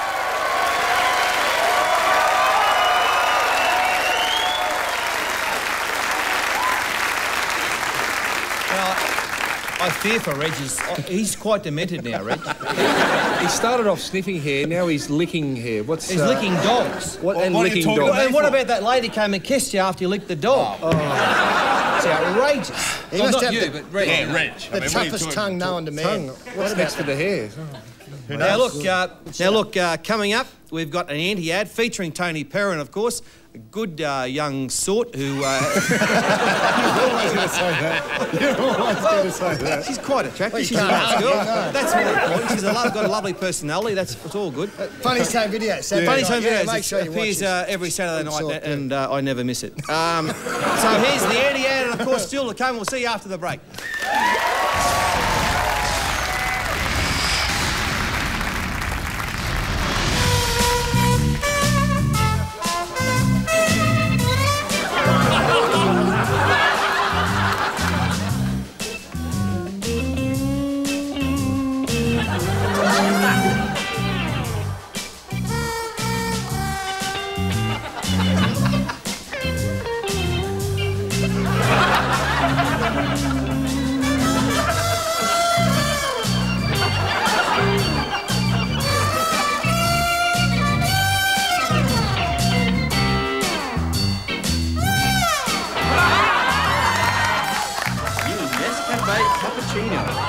Try something new and extra frothy today.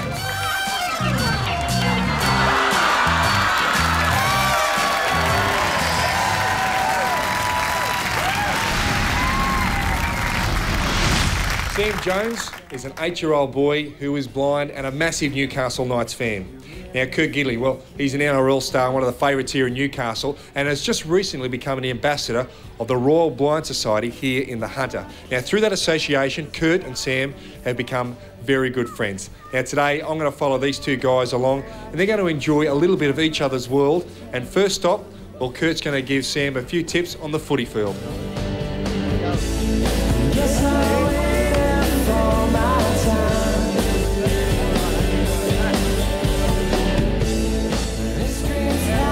Kurt, you've got to ask to be involved with the Royal Blind Society. There's no problem with time. You enjoy doing that, working with the kids. Yeah, I enjoy it. I mean, I suppose it's uh, harder, you know, to take it out of your own time. But when you come along and see little blokes uh, like Sam, you know, who are, who are blind or vision impaired, it's um, you know, it makes it a lot easier.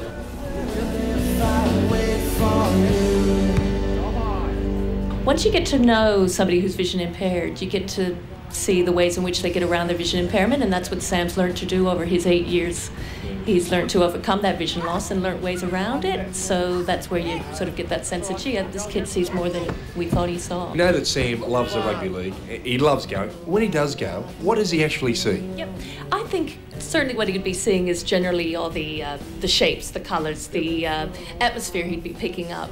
To see the detail of people's faces, to see the numbers on their shirts, he would need his long distance magnifier. Also, his parents would be guiding him and, and pointing things out to him, but he certainly gets the sense of the game, the sense of the you know excitement and the atmosphere, and he would be seeing a lot of the shapes and the colours. Well, being the night's training, and Sam, you killed it there. Now we're going to go in Sam's world again because we're going to do some Taekwondo. Now, you're a champion, red belt. You going to show us a few things? Yeah, you're going to show Kurt a few things. Yeah, are you ready? Are you nervous? I'm not ready and I am nervous. Well, let's go in and do some Taekwondo.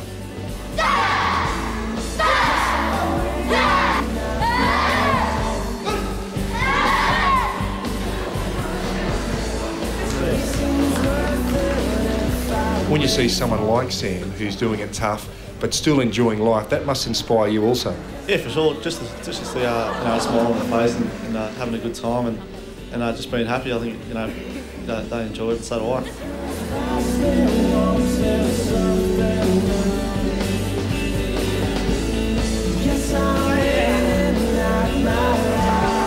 Yes.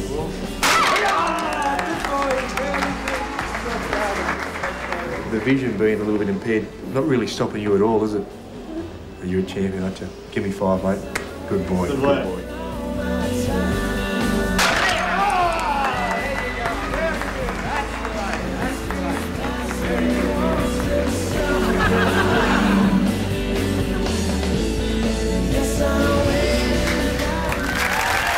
Uh, now, Clint Newton carries a very famous last name, and he's a pretty handy rugby league player as well. We've got a story on him a bit later in the show. Here's a sneak preview. You just remember certain things like going to the hospital and sitting in the courtyard with, with mum and in between visits and stuff like that. And then, um, but a lot of my earliest memories and is the way Dad is now. So it hasn't been probably as hard as it would have been if the accident had have happened later in life. I've had to grow up the way he is now, and, and that's um, and I'm happy with that.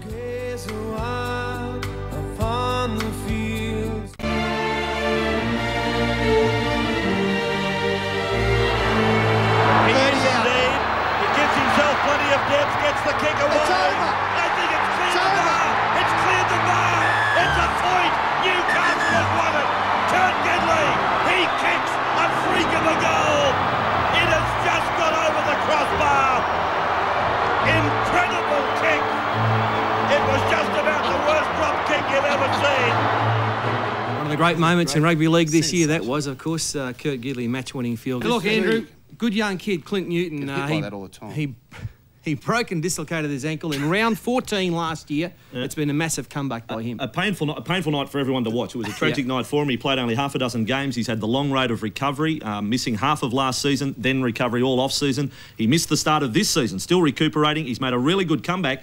And this week, as we've all taken in the British Open, we're all a little bleary-eyed. It's 30 years almost to the to the week since Jack Newton took Tom Watson to the wire at the British Open. Great sporting family. Tim Gilbert during the week caught up with Clint Newton.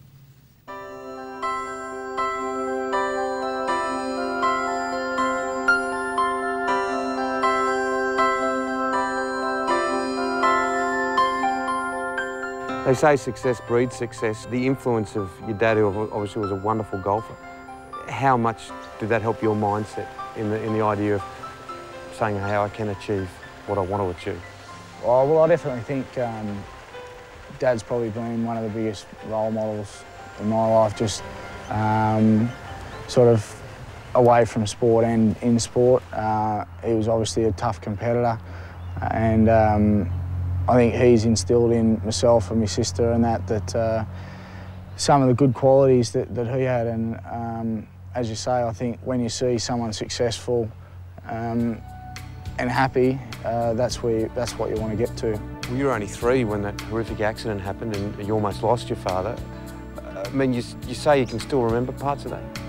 Yeah, it's sort of funny. Some things stay in your mind and others don't. Fortunately enough, I don't remember a lot of the bad things sort of that were obviously, obviously exposed to me and my sister at that stage. But uh, you just remember certain things like going to the hospital and sitting in the courtyard with, with mum and in between visits and stuff like that. And then, um, but a lot of my earliest memories and is the way Dad is now. So it hasn't been probably as hard as it would have been if the accident had have happened later in life. I've had to grow up the way he is now, and, and that's um, and I'm happy with that. I've met probably the best thing for our family in a way was you can always take sort of something positive out of something bad, and the fact that his accident happened, I think, gave him an opportunity to spend more time at home, and and now we've probably got um, we've got a really close family, which I think probably wouldn't have happened if he had been still playing on the tour. So um, there's a lot of positives that have still come out of something um, as bad as that.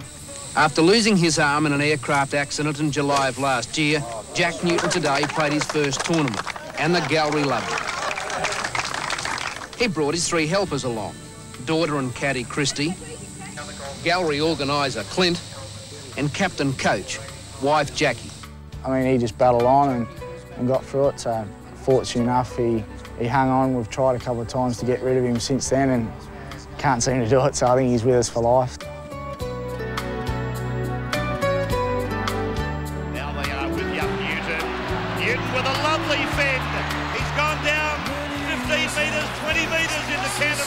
Canterbury territory. The old man will be proud of that one. See the children run as the sun goes down. Oh dear.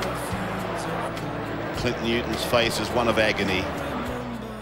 Yeah, it wasn't that great. Um, probably the first time last year that I started feeling confident in, um, in my ability and, and, I felt like I was contributing to the team and, uh, and then it was taken away through an unfortunate accident and um, it was a time there, yeah, when I thought um, that I wasn't going to be able to play anymore and, and that was pretty shattering. They say you're one of the big characters at the Knights, and there's a bit of a story in the ambulance on the way from the ground to the hospital. Um, up on morphine, you got on the mobile phone? Yeah, I was, um, I was pretty high at the time, and uh, it was towards the back end of the game, and uh, it was one of those games against Saints that um, was going to go down to the wire, and, and I got a mobile and I rang uh, Matty Parsons, and uh, he picked up the phone and sort of obviously was a bit surprised to, to hear me at the other end of the line, and uh, just asked him what the go was, whether we'd won or not, and when he said he didn't know, I, I think I sort of spat back at him pretty quickly. What's the story? What do you mean you don't know? And then uh, he said, well, Joey's got a kick from the sideline to win it. Um, and he said, I'll talk you through it. So, uh, so we sat on the end of the line, and then a couple of seconds later, all you can hear is a massive roar from the crowd and Parso yelling in the background saying he's kicked it, we've won.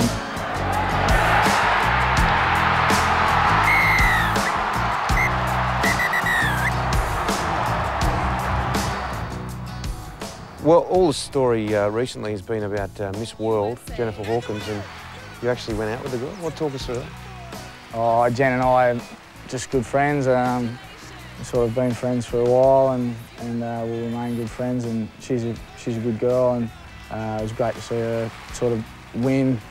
And uh, winning those circumstances go over for a Newcastle girl and for Australia, I think, uh, and it makes it all the more better when you know that she's actually a good person and and uh, couldn't have been more deserved for for a girl like Jen. A bit more than plutonic at one stage, wasn't it? Oh, mate, uh, I don't know where we can go into too much, but uh, no, she's a good girl, so um, she's uh, she's happy, and and uh, I'm happy for her that she's uh, that she's done well. So um, yeah, I've got football to worry about anyway, mate. Yeah, well, I bet you they don't let you talk about football at training. They would have ribbed the living daylights out of you, wouldn't they, the boys at training?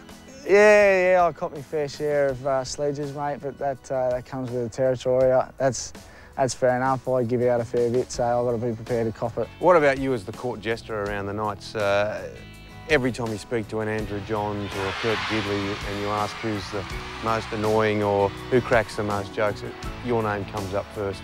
Don't know where Joey's coming from with annoying though, because um, I don't know, he, he's forever touching me and grabbing me and trying to cuddle me, and it, gets quite annoying. I don't have a thing for, for hairy Mediterranean men, but, um, but he seems to think I do. So.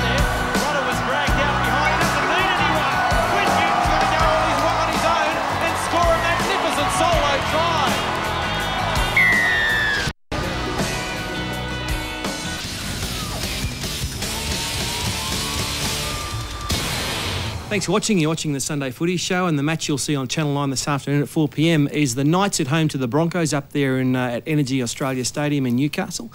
And let's see where they are placed on the ladder, both of these two sides. The Broncos are going very well on 26 points, currently in third spot. The Knights uh, out of the top eight uh, on 18, and it, Big game. I reckon it's been a fairly disappointing season for the Knights. I know they've had a lot of injuries, and their coach hasn't been around. Uh, of course, he had the State of Origin series to contend with as well. So it's a big game for them there today.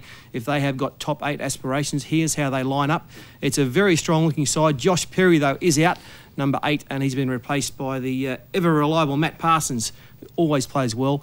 Uh, good-looking side, boys. A bit of pressure on Michael Ennis playing 5'8". He's proved very versatile for them. He's coming up against a club that he knocked back for a contract, um, the Brisbane Broncos. And a key this afternoon, when you look at the conditions, that it's blow the hair off a hippie today. And goal kicking for the Broncos. Darren Lockyer has to be kicker again because Michael De Vere is out with that quadricep injury could again this prove to be a afternoon. difference. So Lockyer's their first choice kicker. Would this be Steve Simpson's first game back? First for a long game back since round two. Well, he's an round two. Australian rep. I mean, he'll add some thrust off the bench. That's off the bench. That's for sure. They've had some injury, injury problems, Newcastle, over the years, but today's a big game for them. They really need two competition points to challenge to make the top eight. Gus, it's not the fortress anymore for Newcastle. They've got um, they've only won three times at home this year. Five of their last eight games, and the run home to the finals are at home. So it's just so important that they aim up at home. Yeah, at the end of the day, the key to their season was always going to be Andrew Johns. Um, uh, young Kurt Gidley is a player of the future, but it's big, you know, big shoes to fill. Uh, you talk about the goal kicking with Darren Lockyer. It was that windy outside. I think even the best goal kickers won't be kicking goals today. So maybe that won't be the uh, the setback that we think it is. Strong looking Brisbane side. I thought they were very, very impressive against the Dragons last week. And I think their coach Wayne Bennett has really set a goal for himself this year about post Origin football for the Broncos. Last year they came out of Origin football, hardly won a game or didn't win a game. Uh, this year, straight out of Origin, they beat the Dragons down at WIN Stadium, and I think they can win on the road again this afternoon. Some of the lesser lights Oh. there playing great football. Casey McGuire was brilliant last week. Neville Costigan. Costigan, he was isn't he a very player? impressive. The player for me that I think makes this team more exciting is Shaun Berrigan at centre. Now, uh, when he wasn't there, he's been out for a long time with hamstring injury. Darren Lockyer exclusively going to Brent Tate on the right hand side of the field. Now that Berrigan's there and he can bob up anywhere on the field and out on the left hand side, gives Lockyer a lot more options. And when he's at his best, Shaun Berrigan, he's a dynamic player. He's a try scorer, he's a try saver, uh, and he can, he, as I say, he can get on both sides of the field and Who are you play. And I think he's a. I think the Broncos will win. I think they'll, they can win on the road up there, and it's, it's not easy to win up there, but I think the Broncos will do it. Very impressed with what they did last uh, Friday night against the Dragons. Broncos are shaping as one of the best teams in the competition, and I think uh, it'll be a close one. I think Newcastle make a game of it, but I think the Broncos will win. Freddie, I think the Knights players, um, their ears are still ringing from the, the spray they got from their coach Michael Hagan two weeks ago when they lost at home to the Sharks. He described their first half as disgraceful and embarrassing. I'd be very surprised if they didn't come out and really aim Yeah. up today. Terrific game this afternoon. It'll be a tough one off the back of the bye. I think their players will be a little bit fresher. It'll be a tough one. I, I'm tipping the Broncos just. You would have to think if the Knights win this afternoon, it's going to be a high scoring game. I don't think the Knights can keep the Broncos to very little. Even in the conditions, though? Even in the conditions. I think, you know, what we might see is probably four or five tries each to both sides today, so it'll be pretty But entertaining that breeze stuff. is from the direct south. Oh. You're not talking 40 20s today. You're kicking from inside your 20 and getting Yeah. inside their 10. Hazem El Masri could kick a goal from 70 metres today. and the other games today, the Warriors. You love Haslam, don't you? Oh, I'm just saying. It's Love him. You know, Gus Gould, the old toe packer, could kick it from 50. He's a today. European man, hasn't mate. The time has come, Vossi, to introduce our special mm-hmm. guest. He's brought out his book, he's brought out his CD, and we've got the DVD where he says, Am I ever going to see the Biff again? All of me, the DVD. How about we give it up for our special guest, the three others in the studio, for Reg Reagan, ladies and gentlemen. Reggie. Hey. Hey, guys. Great Ah, to be here. This is, this is a pleasure. We meet again, Vossi. Yes. Have a Call you seat, Vossi. Reggie. Yeah, no, it's fine, Reg. Great to meet you, mate. Reginald. Now, Reg, I've been reading this book. There is a lot more to you than just beer and biff. Not much more, Gus, but a little bit more. Well, mate, where did it all begin for you in rugby league? Good question. In rugby league, look, I started as a child prodigy, moved on to a teenage legend, and become a rugby league god. That's probably the uh, short summation. Mate, this is going to bring back some great memories. We've got some playing vision of you. I mean, a little known, you played for Western Division back in 1984 against the touring Great Britain side. Let's have a look at this. Never played with a bigger bunch of peanuts in my life. At me trying to inspire these bludgers. Come on, get with Reggie boy. Oh, look at the Poms. They were terrified of me. Look at the respect. Here I just drive and look at that. Come on, get with me. I'm the only one having a go. Uh, played in the centres. Now, this game, you played one game for Mudgee. This is against Oberon. Uh, Yeah, look, perfectly legal tackle here, and the Oberon blokes start carrying on. Look, nothing in that. That's a clean tackle. Right. Uh, even David Gallop would say so. You see me in the 90, all hell breaks loose, and they're going at it. Look at this. Oh! How good is it? Now, you watch little Bluey side bottom. I think he's in the 13. He mastered the piano accordion punching style. You see, there he Oh, is. yeah. there. He watch this. Ding, ding, ding, ding. Oh, little, little. you like that, bossy? Yeah, no, it's all right. So Bluey side, but there you are. There's the nine. There you are. Oh, you Oh. copped one yourself. Yeah, oh, look, mate, didn't hurt me. I took it easy. They're just kids, mate. They're just kids. Now, what's the story behind this? That was the only game you played for them. Yeah, I was suspended for about three years. in the Western Division. That was a tragedy. you know, I mean, a lot, of, Tragedy. lot of bitterness Uh, there. listen, what's what's this tape you're holding? Oh, look. Look, you know, guys, occasionally when I'd, I'd get lucky, bring a couple of the girls home and the two-bedroom fibro at Lincoln Way, and I sit them in the jacuzzi, and I tell you what, some of my favourite moments here, and it never fails. Let me tell you, we've got a work experience guy here. Yeah, we have. As long as it's not son, Paul how you going? mate, that's all Good right. to see you, mate. Keep off this, okay? Okay, good. So, so what's this? Eh? this these, are, these are rugby league moments, are they? Yes, they are. Rugby Yes, league moments. It's my favourite moments. All right, well, let's go to the tape then with some hesitation. Have a look at this. Now, they play the ball. Now, look at this. Now, this is what it's all about. Just drop it on ball. Look at that. Boom, nice tackle. Okay, that's fair. That's Fred Pagano. Yes, it's. Fred Pagano, the great Fred Pagano. Now, what's this?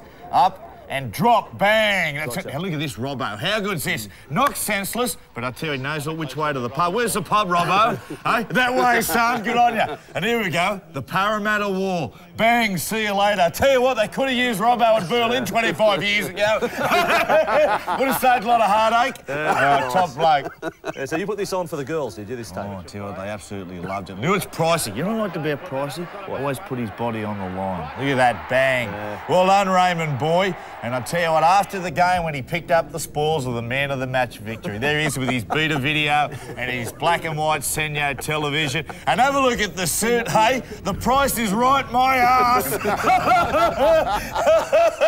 Moment. Oh, look at this, hey? Dallas Donnelly. Oh, that's a dental check Leakum style. And old mate Les Boy, and there's Heartless Hartley says, go on, son, get on, have an early shower. Uh, 15 months later, he kept you played again. Yeah, yeah, yeah, he did. He did. I tell you, I tell you what, he's a skillful bugger though. Just have a look at this. Snap, and away she goes, hey? And I'll tell you something else, though, Dallas. He was also very much into fashion.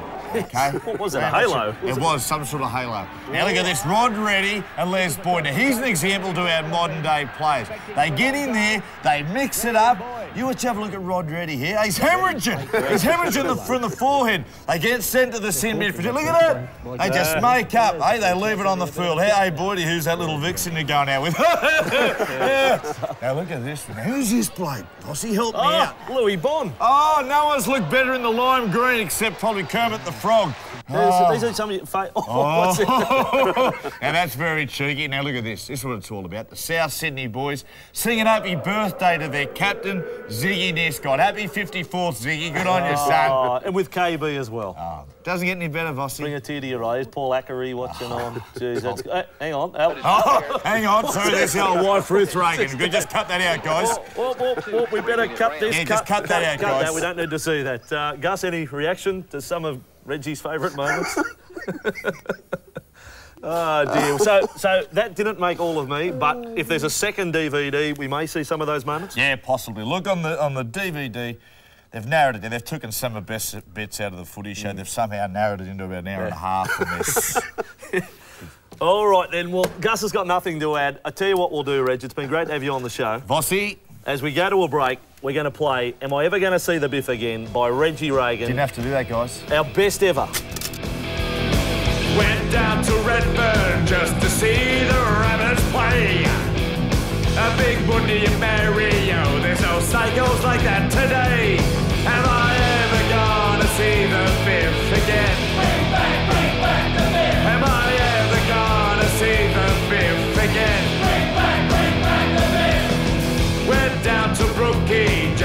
see the Eagles play.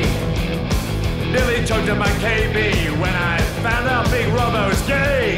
Am I ever gonna see the Biff again? Bring back, bring back the Biff. Am I ever gonna see the Biff again? Bring back, bring back the Biff. What has it come to when a bloke can't punch his mate? Listen to the gallows,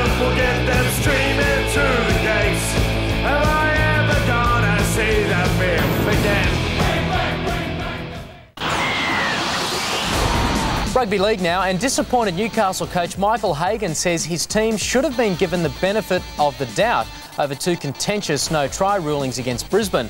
The loss sinking the Knights to 10th place on the ladder. Red or green? No try! Decision that could cost Newcastle a place in the final eight. There's the reaction from Ennis. Just five minutes to go in the game, and the Knights trailed by four when Michael Ennis claimed what could have been the match winner. No! Just a minute earlier, the video ref had ruled that his teammate Andrew Price had been held up over the line. Oh! The Knights say they won't be complaining to the league. It's been adjudicated on, and, and ultimately they'll be their opinion will be the one that counts. So it won't matter too much. But um, you know, some of the stuff on the ground, I just I couldn't understand. Hagan had watched his side run into a gale, fighting back from a 16 to 6 deficit. The Knights had led 6-4 at half time, but the Broncos surged back into the match with a try that will take some topping this season. Inside for Lockyer. He gets it back on the outside for Berrigan. Back inside Lockyer. Then McGuire. Now Hunt. Hunt will score. This has been an absolute butler. Brisbane breaking a six-year run of losses in Newcastle. The Knights' mid-season slump now tallying one win from seven starts. Hagan wishing just one of those two calls at the end of the match had gone his way. I've seen plenty of other decisions like that given before uh, on both counts, and I think um, you know players are probably understandably uh, surprised and disappointed that um, uh, that we didn't get our the result we thought we were entitled to. There's been a lot of speculation in the media about about Reg being involved with the fact that um, you know that he you know, sort of presents Boys. to Biff and all that type of stuff. What do you I, I What are you thinking? Look, I, I had a yarn to Reg at the bar this Yeah. afternoon. I said, Reggie, there's a lot Reggie of boy. Look, right, yeah, probably rightfully, a lot of fingers pointed your way. He said to me, Matt, or MJ likes to call me, Johnsy, sometimes he calls me. He said, look, listen to the end of my hit single. He said, I always say, kids, play hard, but play fair. He likes blokes that stand up and throw a few face to face. That wasn't face to face. That was a cheap shot. Yeah, look, Mike Gibson got it right. Mike's a very experienced and very uh, well-credentialed journalist for the Daily Telegraph, and he said Reg is a character. He's a parody of what happened in rugby league 20 years ago. He's not to be taken seriously, and that's the way it is. Look, I reckon 99% of the people in the, in the community understand what Reg is about. There's a lunatic fringe of 1% who are trying to beat something up. Yeah. And it's it's just it's completely out of place. He's, a- he's a fictional character. leave He's him got nothing to do with what's got, went on on, Wed- on last Sunday. Anyway, speaking of Reg Saturday. Reagan, we do love him uh, immensely, and he's been once again out on the slopes today of Perisher. Ah, ah, ah. G'day, I'm Red Dragon. And how good is Perisher Blue? Oh, sweet baby. Jesus. Yep, old Richie Boy's having a ball up here. All day he's been going up and down and up and down. It's been like me and Ruthie on our honeymoon night in the back of the Seaman in 73, if you know what I mean. Ah, ah, ah. Oh, how are you, mate? Horny. oh, I'm horny too. Now, what's the best thing about the snow, mate? It's wet. Hey? It's wet. It's just says you've got a one-track mind. Everyone ever tell you that? Because I'm an Italian. What do you oh, expect? Oh, hey, the old Italian Stelliano. Yeah, that's right. So what's a good Italian lad doing in a place like this? Checking out all the guys. oh, it's just like being back in the Navy. Is there room for two in this thing? Oh, I wish there was. How I wish there was I'm was. lucky to fit in it myself. Oh, come on, I'll tell you what. Yeah? What do you like so much about this, you know, about the cold? Is it at night you can sit in front of an old open Oh, you fire? can get really snuggly. Oh, you better believe it. You won't be by yourself. Or the what your bank balance is like. No, I'm a material girl. Oh, then I'm a material girl, and I am a material. Oh God. You're doing a good job with your leg there. Ah, you don't that's- need me. That's not that's not my leg, let me tell you. From Thailand. Heard so much about you. Oh, have you? Yes, yes. Oh, I went out with a Thai woman once before. They're beautiful. Oh, she had an Yeah. Adam's apple, hairy feet, and a voice deeper than John Laws'. Ha, ah, ah. What's happened there? I'm ashamed to say. What happened? I smashed her in the face with a board. Oh, now you're my, you're my type of woman. Oh, come here. Give me a smack in the board. Having a bottle of Chardonnay or a Merlot over dinner. Snaps. Then cuddling over an open fire. Hey, do you get much of that going on later on? Oh. Dry hardest. Yeah. Oh, come on. oh. Hey, My sister wants me to come and sniff your hair. Go and get into it. Beautiful. Oh, I tell And you this what. is- That's from my mum. Oh, And really? That's from me. hey, I tell you what, you want to put some disinfectant on that nose, okay? Oh, it's a bit red, isn't it? No, no, it's what's in Oh, my it's hair. oh, God, I love this bloke. Oh, ladies, you enjoying the slopes? He's got one big ball here. Oh, yeah, had to get one ta- taken out. It used to restrict my running style. Still sitting in a jar at mum and dad's. Japanese? Yes, I am. So, are you enjoying our nice snow fields at the moment? I am. Hey, come here, hey, you want a hero? You got one. what are you drinking there? Rum and lemonade. What are you drinking? Where's your KB, your old shagger? Hey, doesn't that warm the cockles of a heart? Hey. Hey, operative word being cockles. Well, there you go. Old Reggie boy's been ripping this mountain apart. Been doing a bit of skiing as well. But anyway, it's time for Reggie Boy to hit the chalet and have a nice slow massage. I'm Reg Reagan from the Snowy Mountains. Go and get stuff. Well, Michael Hagan, is it a case of lose this one and your season's over? Oh, it's not quite at that stage. It's getting to a pretty important stage for us, and obviously the Cowboys sit a point in front of us. They know it's important for their top eight chances, and so do we. Big move today. You moved Matt Gidley into partner, his brother at 5'8", brother at halfback, the two Gidleys, the two halves. Yeah, it's um, you know, Matt played there last week for the first time, and I thought played very well. And I've got no doubt that um, if they spend a bit more time together, I think they're going to be uh, very important for us, and I think uh, it's going to give us our best opportunity to to, um, to play well today. The big tough bruising Josh Perry, late inclusion. Yeah, he's got through um, the rest of the week better than we thought, and he's um, obviously very keen to play and lock horns with Paul Rahe, so uh, more than happy to give him that chance. How's the side backing up after last week's narrow loss to the Broncos? Yeah, I guess last week, um, you know, a bit disappointed not to win the game. Uh, effort was terrific, and I think the players, you know, probably were a bit uh, sore after the game, to be honest. But I think um, you know, we've had a good week together, and you know, we just need to try and play with some confidence and, and string some games together, and, and that's what we'll be hoping to do today. Hope it goes well. Thank you. Here is the Newcastle lineup, 1 to 13. It's the same side. In fact, their only change comes on the bench with Regan Tanner out of the side and Josh Perry, who was in doubt with a hip injury. He's okay to play here this afternoon against the North Queensland Cowboys. It's time for the toss now. Our referee here today is Jason Robinson, and he's downstairs with the captains Danny Buderus and Travis Norton. Hey, Danny Toss, Travis Score. Tails. It's a tail. Do you want to kick off or choose which way you want to run? Okay, you guys will kick off that way. Good luck, guys. Well, Danny Buderus, uh, six losses from the last seven games, running out of chances, and the last time you missed out in the semis was 1996. Yeah, that's right. We've got a pretty good record with the semis. That uh, you know things can start for us today. We need a bit of momentum, and we can jump over North Queensland. And you know we showed a bit last week, but uh, we need a bit more this week as well. Ben Kennedy, Matt Parsons, Danny Buderus must lead the troops today. Yeah, that's right. We have uh, everyone's back, and it's a shame to lose Big Simo last week, but uh, be no excuses today for a loss. Quite simply, how did the Knights win today? Yeah, we've North Queensland have been playing great all year. They're a very controlled team, and I think we've just got to match them with their same enthusiasm and ball control as well. So, happy to play them at their same game. Hope it goes well, Dan. Thanks, Russ.